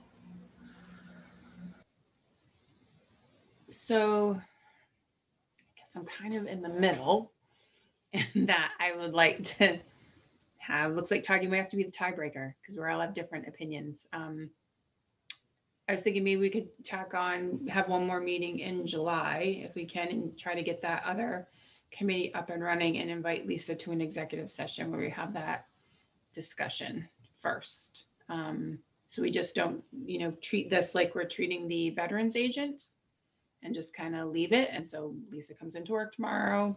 She's still the treasurer collector. Um, because I think, uh, I guess, because I, I don't know that I can fully have this conversation, not in executive session at the point we're at right now. That's kind of my thinking. Is that okay? And we could meet, I mean, I'm okay a week from tonight. I'm thinking it'll be quick, like a 30 minute meeting. I know people are like, yay, more summer meetings. It'll be on Zoom at least. You can do it from home. Adrian, Andrew, would you be able to meet a week from tonight and talk about this in the committee? Well, you wanted to meet sooner for the veterans agent as well, correct? Or were you Yeah. holding off on that till August? No, I was gonna try to talk to everyone this week if I can. And then I would know something by next week. Hopefully. So we could knock out those three next week. Or the week after. I, I would want to do it in July if possible, just because I, you know, these are people's, I guess, the veterans agents not getting paid, but, you know, for the other people, like, this is their job. So. Peter, any advice?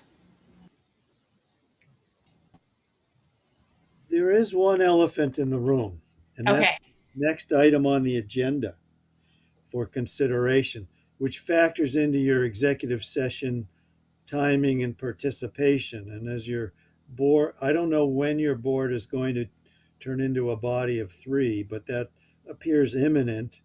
And I don't mean to put anybody on the spot, but um, you know, some of these matters, um, you know, can you do it with a board of three?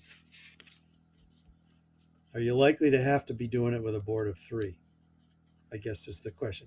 So I don't mean to put you on this, anybody on the spot, but that's something to put in the back of your mind is the next item comes up and the next item after that comes up on the agenda. hmm If we were to vote on this tonight, can Marcia assume the role until you find somebody else, or is she not capable of doing that? Well, she has served in the uh, as an acting in that role while the principal was out on uh, medical leave for a period of time. There were certain things that are technical that can't, she can't do, but otherwise. So anyway, yeah, what one opinion.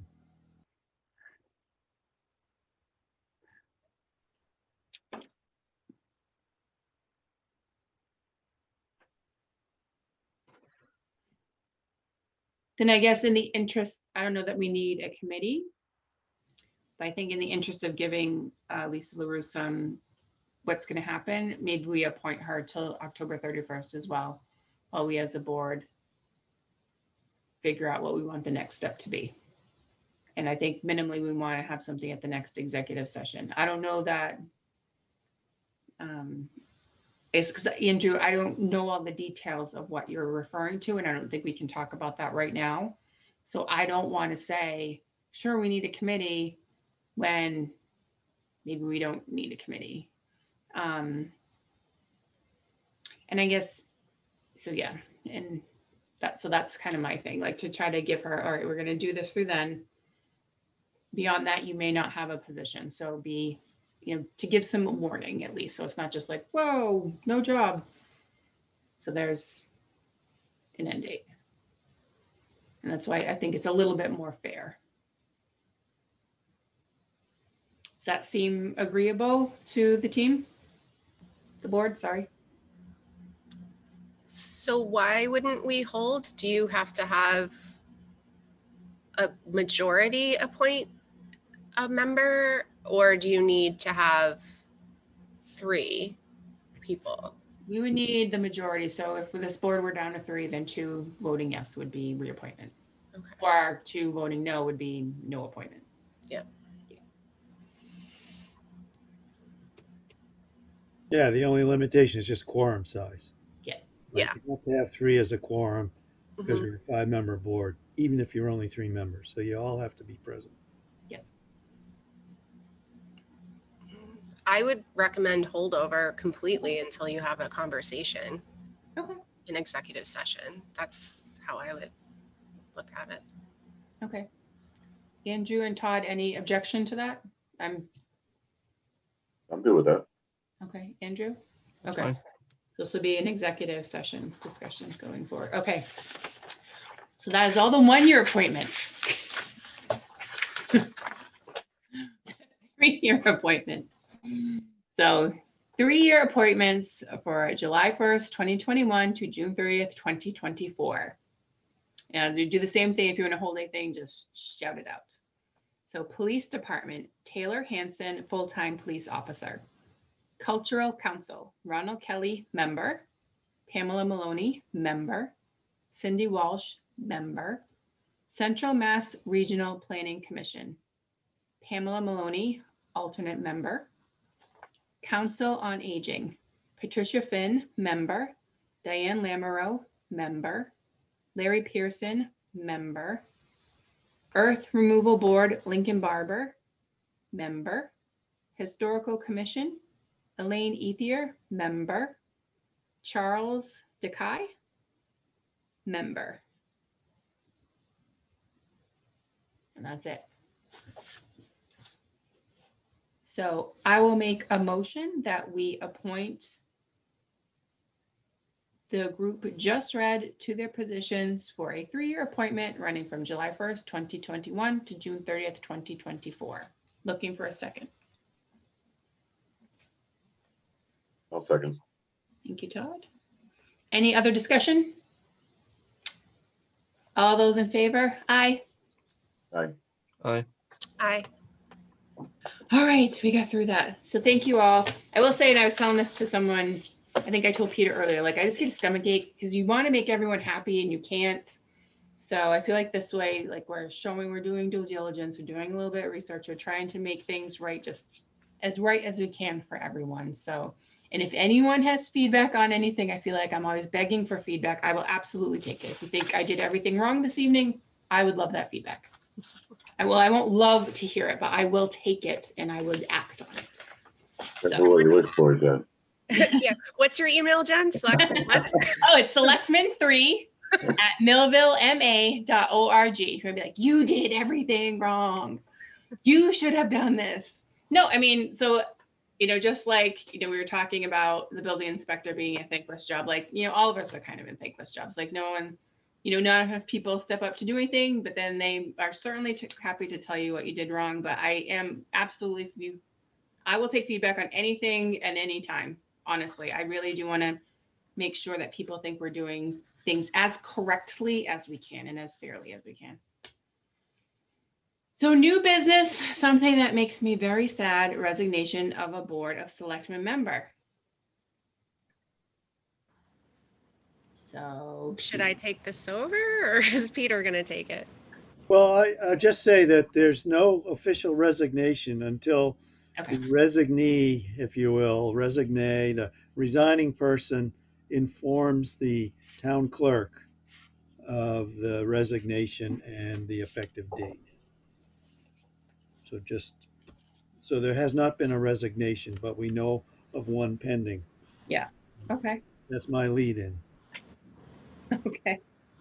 Okay, so I had communicated to Jen and uh, Peter that I planned on resigning from the Board of Selectmen um, just due to my own personal things that have come up since the election. And obviously, I feel really bad that I've only been able to serve for three months on the board and made a one year commitment. Um, but I need to prioritize some other things that are going on in my life right now that I couldn't anticipate and um, really take care of myself and my family. And so, just to give the public that is the reason. There's nothing wrong with the board. We're all like very cooperative. And um, I do apologize for all the inconvenience this causes for the board. Um, and so, in terms of formal resignation, I do have some executive session minutes that are outstanding. So, I don't want to give a formal resignation to the board until I complete my obligation to provide those minutes to you. So, um, that's where my plan resides at this point. Okay, And so normally the executive session minute drafts are reviewed in an executive session. And so there's one already circling out there to be done in the near term. Did, you know, wh- whether the timing of the near term will get to the next meeting date, which would be executive session, if it's not August 14th. And whether that fits into what you're thinking, Adrian, in terms of delivery of those minutes. Um, oh yeah, they can be ready before the 14th, but I guess my question to the board or whatever is, do I need to be active to review them or can somebody kind of take the lead in terms of if there are edits required and they can um, approve them without me being an acting member of the board anymore? I think that's the comfort level of the board. I think, uh, yes, I think they can, you know, if you submit the drafts and they're just reviewing the drafts and approving them and editing them in their final stage, then that can be done without you, yes. Okay. Then yes, I can commit to August 14th, okay, a month away. okay. Maybe we'll meet sooner. Um, actually, one thing, so I'm sorry to go back to appointments really quick. We were so close. Peter, I did get in my packet an appointment from Chief Landry about an appointment to the fire department. We don't need to do anything with that. Correct. He's, uh, you know, in the fire department, he gets to make appointments. He's just informing you that he's made that appointment. Okay. Of Jonathan Gilbalt Mhm. for the term ending June thirtieth, twenty twenty-two, Mhm. uh, as a member of the fire department. Okay. Um, okay, well, Adrian, I'm really sad to see you go. Um, and you know, you don't know what's wrong with the Board of Selectmen. I gave my email out. We might get a lot of emails tonight telling us everything that's wrong with the Board of Selectmen. So there could be many comments. Um, okay. Anything else, Adrian? Are you okay to move on? Oh, yeah, of course. Thank you. Um, so special election discussion and consideration of date. So as we are down to three and we're supposed to have five, um, I don't know if we want to consider having a special election. So I did see the email here and a potential schedule. So I guess thoughts, I guess what, so Peter and I discussed this last week I was in the town hall. And one thing I mentioned is, so I have a Survey Monkey account, it's free. So I thought I could just make a survey and ask like, hey, we need people to run. Do you want to? Do you want a special election? You, are you okay having a three person board? So I could make like a short survey um, and post it on my Facebook page and other people could share it like crazy. So we could do that and see what people think. Or like I'm not um like I guess I don't mind a three person board, but I wonder what like how the town people feel. If they're like, gee, it's only three people, is this really representative enough of the town? So I don't know. Any other opinions or thoughts? So I'm kind of open to either, either, uh, you know, three member or having a special elec- election. Um, I just have one quick question. So when would be the earliest we'd be able to hold it in theory? So in theory, you have sixty-four days at a minimum notice. So you, you can set the, so the earliest date would be September twentieth uh, from the town clerk. That's the earliest date. Beyond sixty-four days that she could be available. That's a Monday. Uh, then the next date's the twenty-seventh, then ten-four. And then she's provided me some dates that she's not available. Um, sometimes in September, October, and November, some particular. So you can put it out. You could have it in February if you wanted to. You so you could pick a date for a special election if you felt you wanted to have one. You could pick that date tonight, but it would be no sooner than September twentieth. Okay. Um, you could choose not to do anything tonight. Live with a three-member board, see how that goes, and and do Survey Monkey to see whether the world wants a five-member board. It is in your bylaws. You have a five-member board. So, the you know the next regular election would be unless you have a special election. That would be when you see more people come to the board. Hopefully, Yeah. running. Yeah. the challenge becomes quorums, you know, and and availability of people, you know, if you're traveling now, but you also have the flexibility of the Zoom meetings continuing, I think, through, you know, through the next election cycle, basically. So to the extent someone's not in town but is on the road for like, you know, if you Jen, you were traveling on business, but you still could hold the meeting from, you know, Dallas or Osaka, you know? Probably be Fairhaven, Massachusetts when I was There you with go. Yeah. Um, but yeah, I guess, so we don't need to decide tonight on this, but I think we do need to decide soon, in my opinion, because either we fill it sooner, or if it's like, oh, have a special election in February and we have the real one in April, like, I know that was just an example, but I feel like why spend the money? Like, either we do it like September, October-ish to have six months of some, of a full board, or we fly by the seat of our pants until April. So I think why don't we all take a think about it? Um, I'll, a you know, everyone ask everyone you know, what do you think? And at the next meeting, maybe we can have a better idea of what to move forward. And Peter, correct me if I'm wrong, but I think the cost of an election, it's not outrageous. It's like three thousand dollars. Yeah, I think it's about three grand for this sort of thing. Yep. Okay. Which, I mean, I have no, I, I had no idea it would be, I mean, so little, but that's great that we could potentially fill it. And I guess we would just have to make sure it would be very sad if we voted to do this and then no one took out papers. And then something like that, that would be terrible. Okay. Any other comments on the potential special election? Okay, everyone has homework. Ask everyone you know, ask your friends, ask your family. Do you want to do this? Will you run? And then we'll figure that out. Okay. Um, one day liquor license, Garden Wonders, Marty Liquors. So when are they supposed to get this in? Because I know Andrew, you're you're very date oriented. So this seems earlier. It's July thirty-first and today's July twelfth. Is that, It is earlier. The town, uh, official policy is thirty days before the event, at least thirty days before the event. And I did have to remind them to get this in Mhm. because I hadn't seen it. So, but all the ducks are in a row. All the approvals are there. The chief has weighed in. He's going to have a detail based on the crowd size that's projected. Um, I haven't heard anything bad about the last event. This is a different service provider or licensee, one day licensee than the, the last time. Uh, and looks like this person's done this a few times before. So the town has everything it needs. Um, all, everything's checked off. It's for wines and malt beverages only. Mhm. Um, and so it's really just subject to your license approval. okay,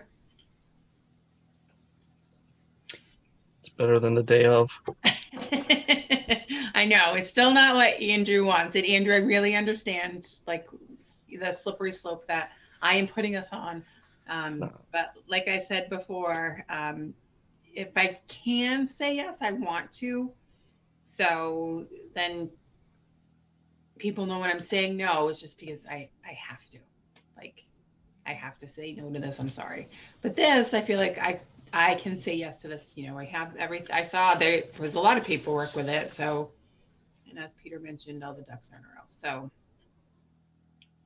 Looking for a motion to approve a special one-day liquor license for July twelfth, twenty twenty-one for Anthony Pepe Food Trucks of America, which will be at Marty's Liquors, One Buxton Street, Uxbridge, Mass.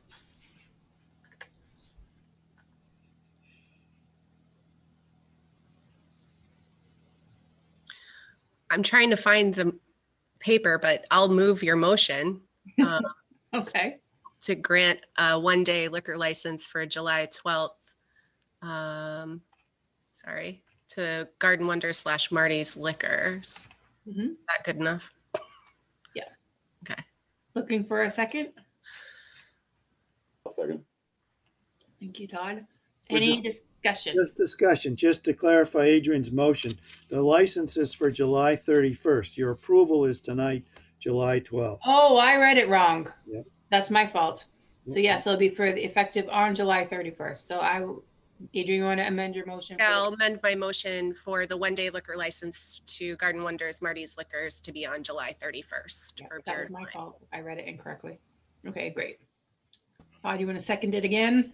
I'll second it. All right. Any other discussion? And it's been um, approved by all the needed people already. Okay.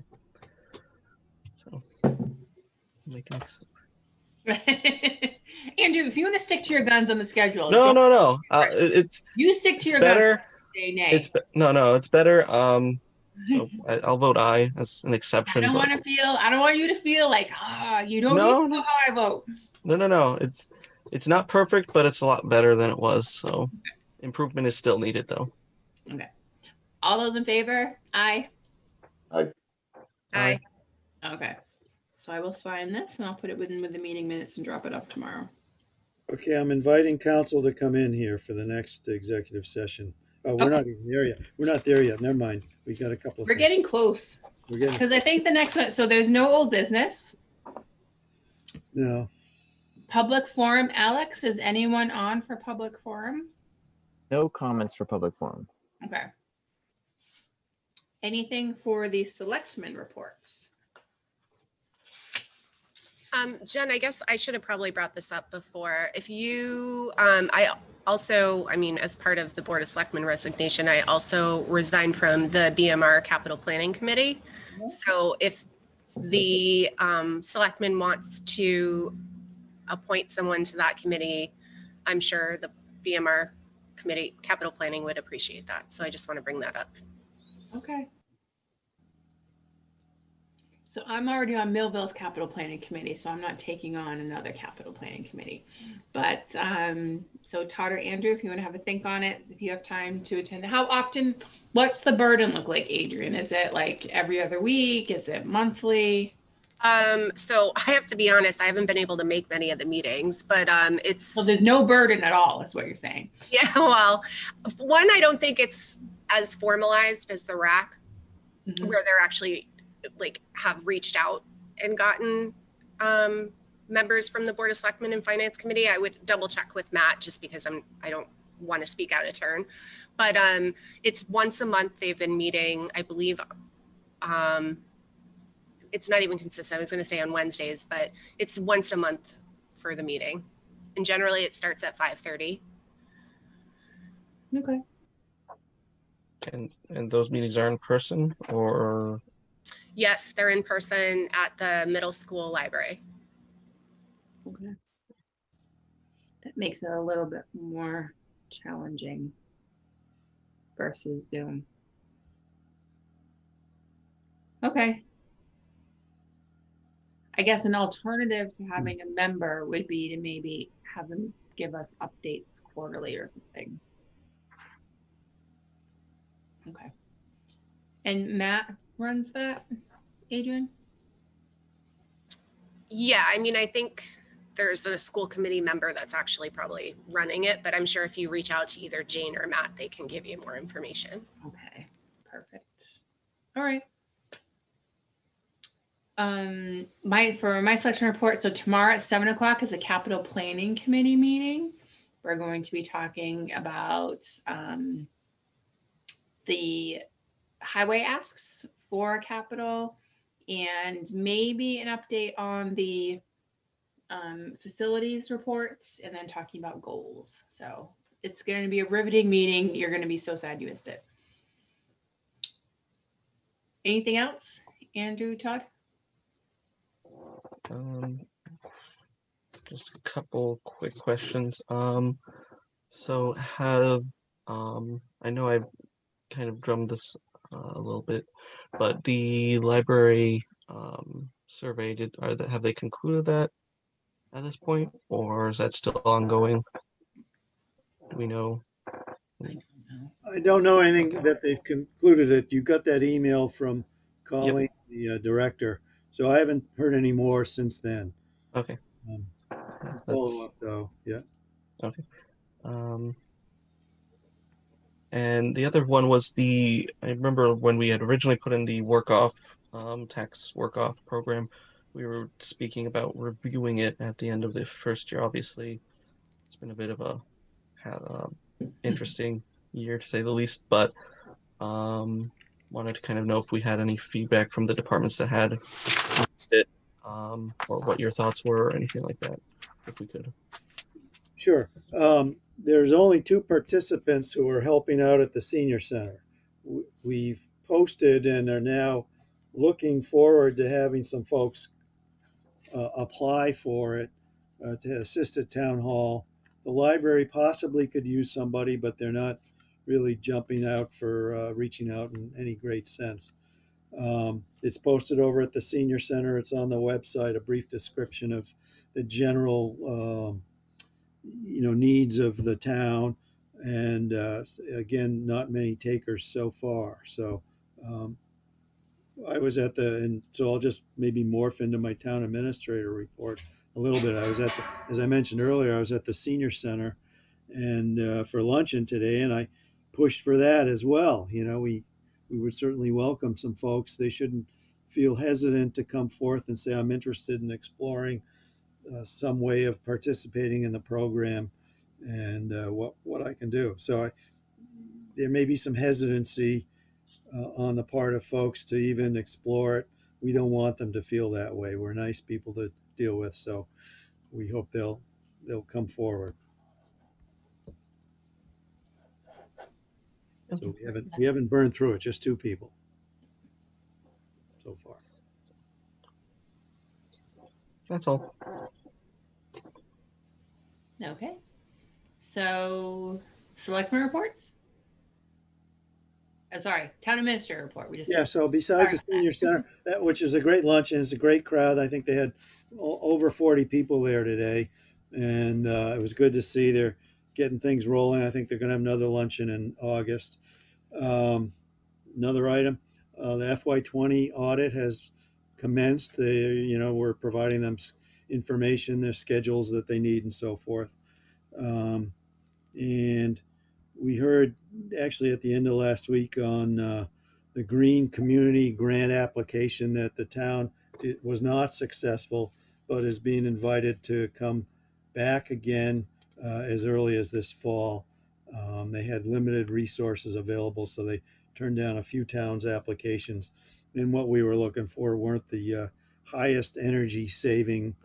Investments on the part of their grant uh, money. So um, we'll sharpen our pencils and give it another go come October.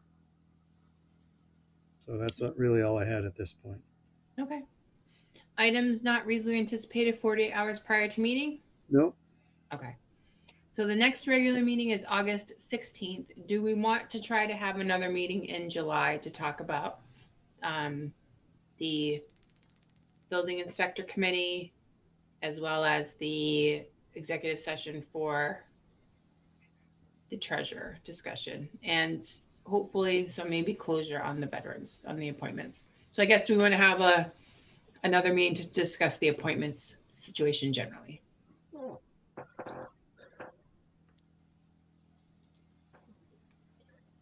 I Assume so. We probably want to get a Yeah. get this done as quickly as possible for the sake of the employees and for ourselves. I think so too. So between, so July 19th is a week from today and July 26th is two weeks from today.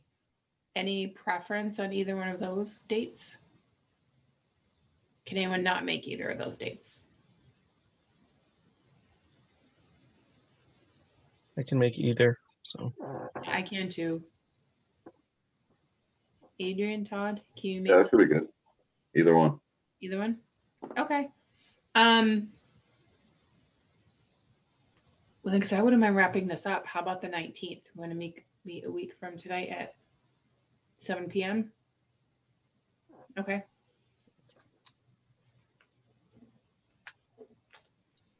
July nineteenth. Okay. And then hopefully ask everyone you know if they want to be on the um building inspector committee. We need, because we need three people. ask people if they want to volunteer for anything at this point. I know. Yeah, a couple things. Do you have a free five minutes every day? If you're not helping in Millville, you should be. Okay, sounds good. All right, so Peter, um, I can work with you on the agenda for that, you know, over the next day or two. Okay, all right. Signatures we did, so I think we're done and ready for executive session. Only Halfway to return for adjournment, adjourning. Okay, so Alex, if you want to make me the, um. We need to make a you have motion. to Make the motion. Oh, And you don't need to do it. sorry, I'm like right on it. I'm like, let's just go. Sorry. All right, so who, You don't need to do the first one. We're not going to cover that matter. Okay. There's nothing. So just B through C B through S- B through through E. Sorry. E through E? If you And I've want, I'll take the lead, Andrew, so that, you know, it's one of my last meetings. I'll do it. I, I can do it. Um, so, um, I move that the Board of Selectmen enter into executive session per Mass General Law, Section thirty A, subsection twenty-one A three, to discuss strategy relative to pending litigation, Herto v. Millville et al., where discussion of these matters in open session would have a detrimental effect on the litigating position of the town.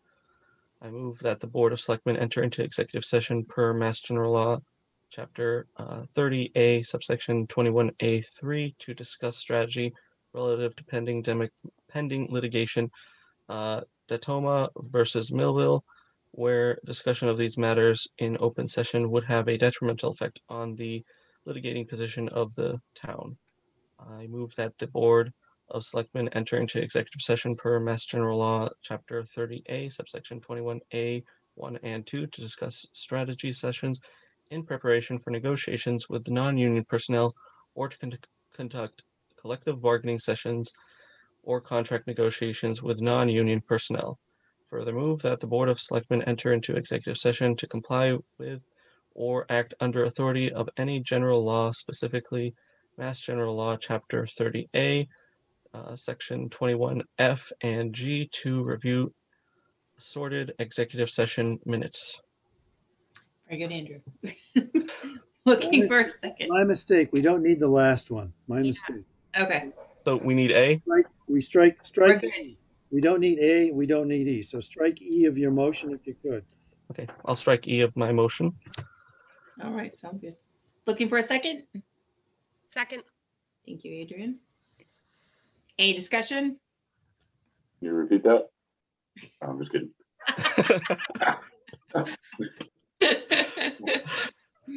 See, we're fun. Um, okay, so looking for a roll call vote. So Andrew Howard, Uh, um, aye. Adrian Pettit, aye. Todd Trotter, aye, Jennifer Gill is also an aye. Okay, so now Alex, you can make me the host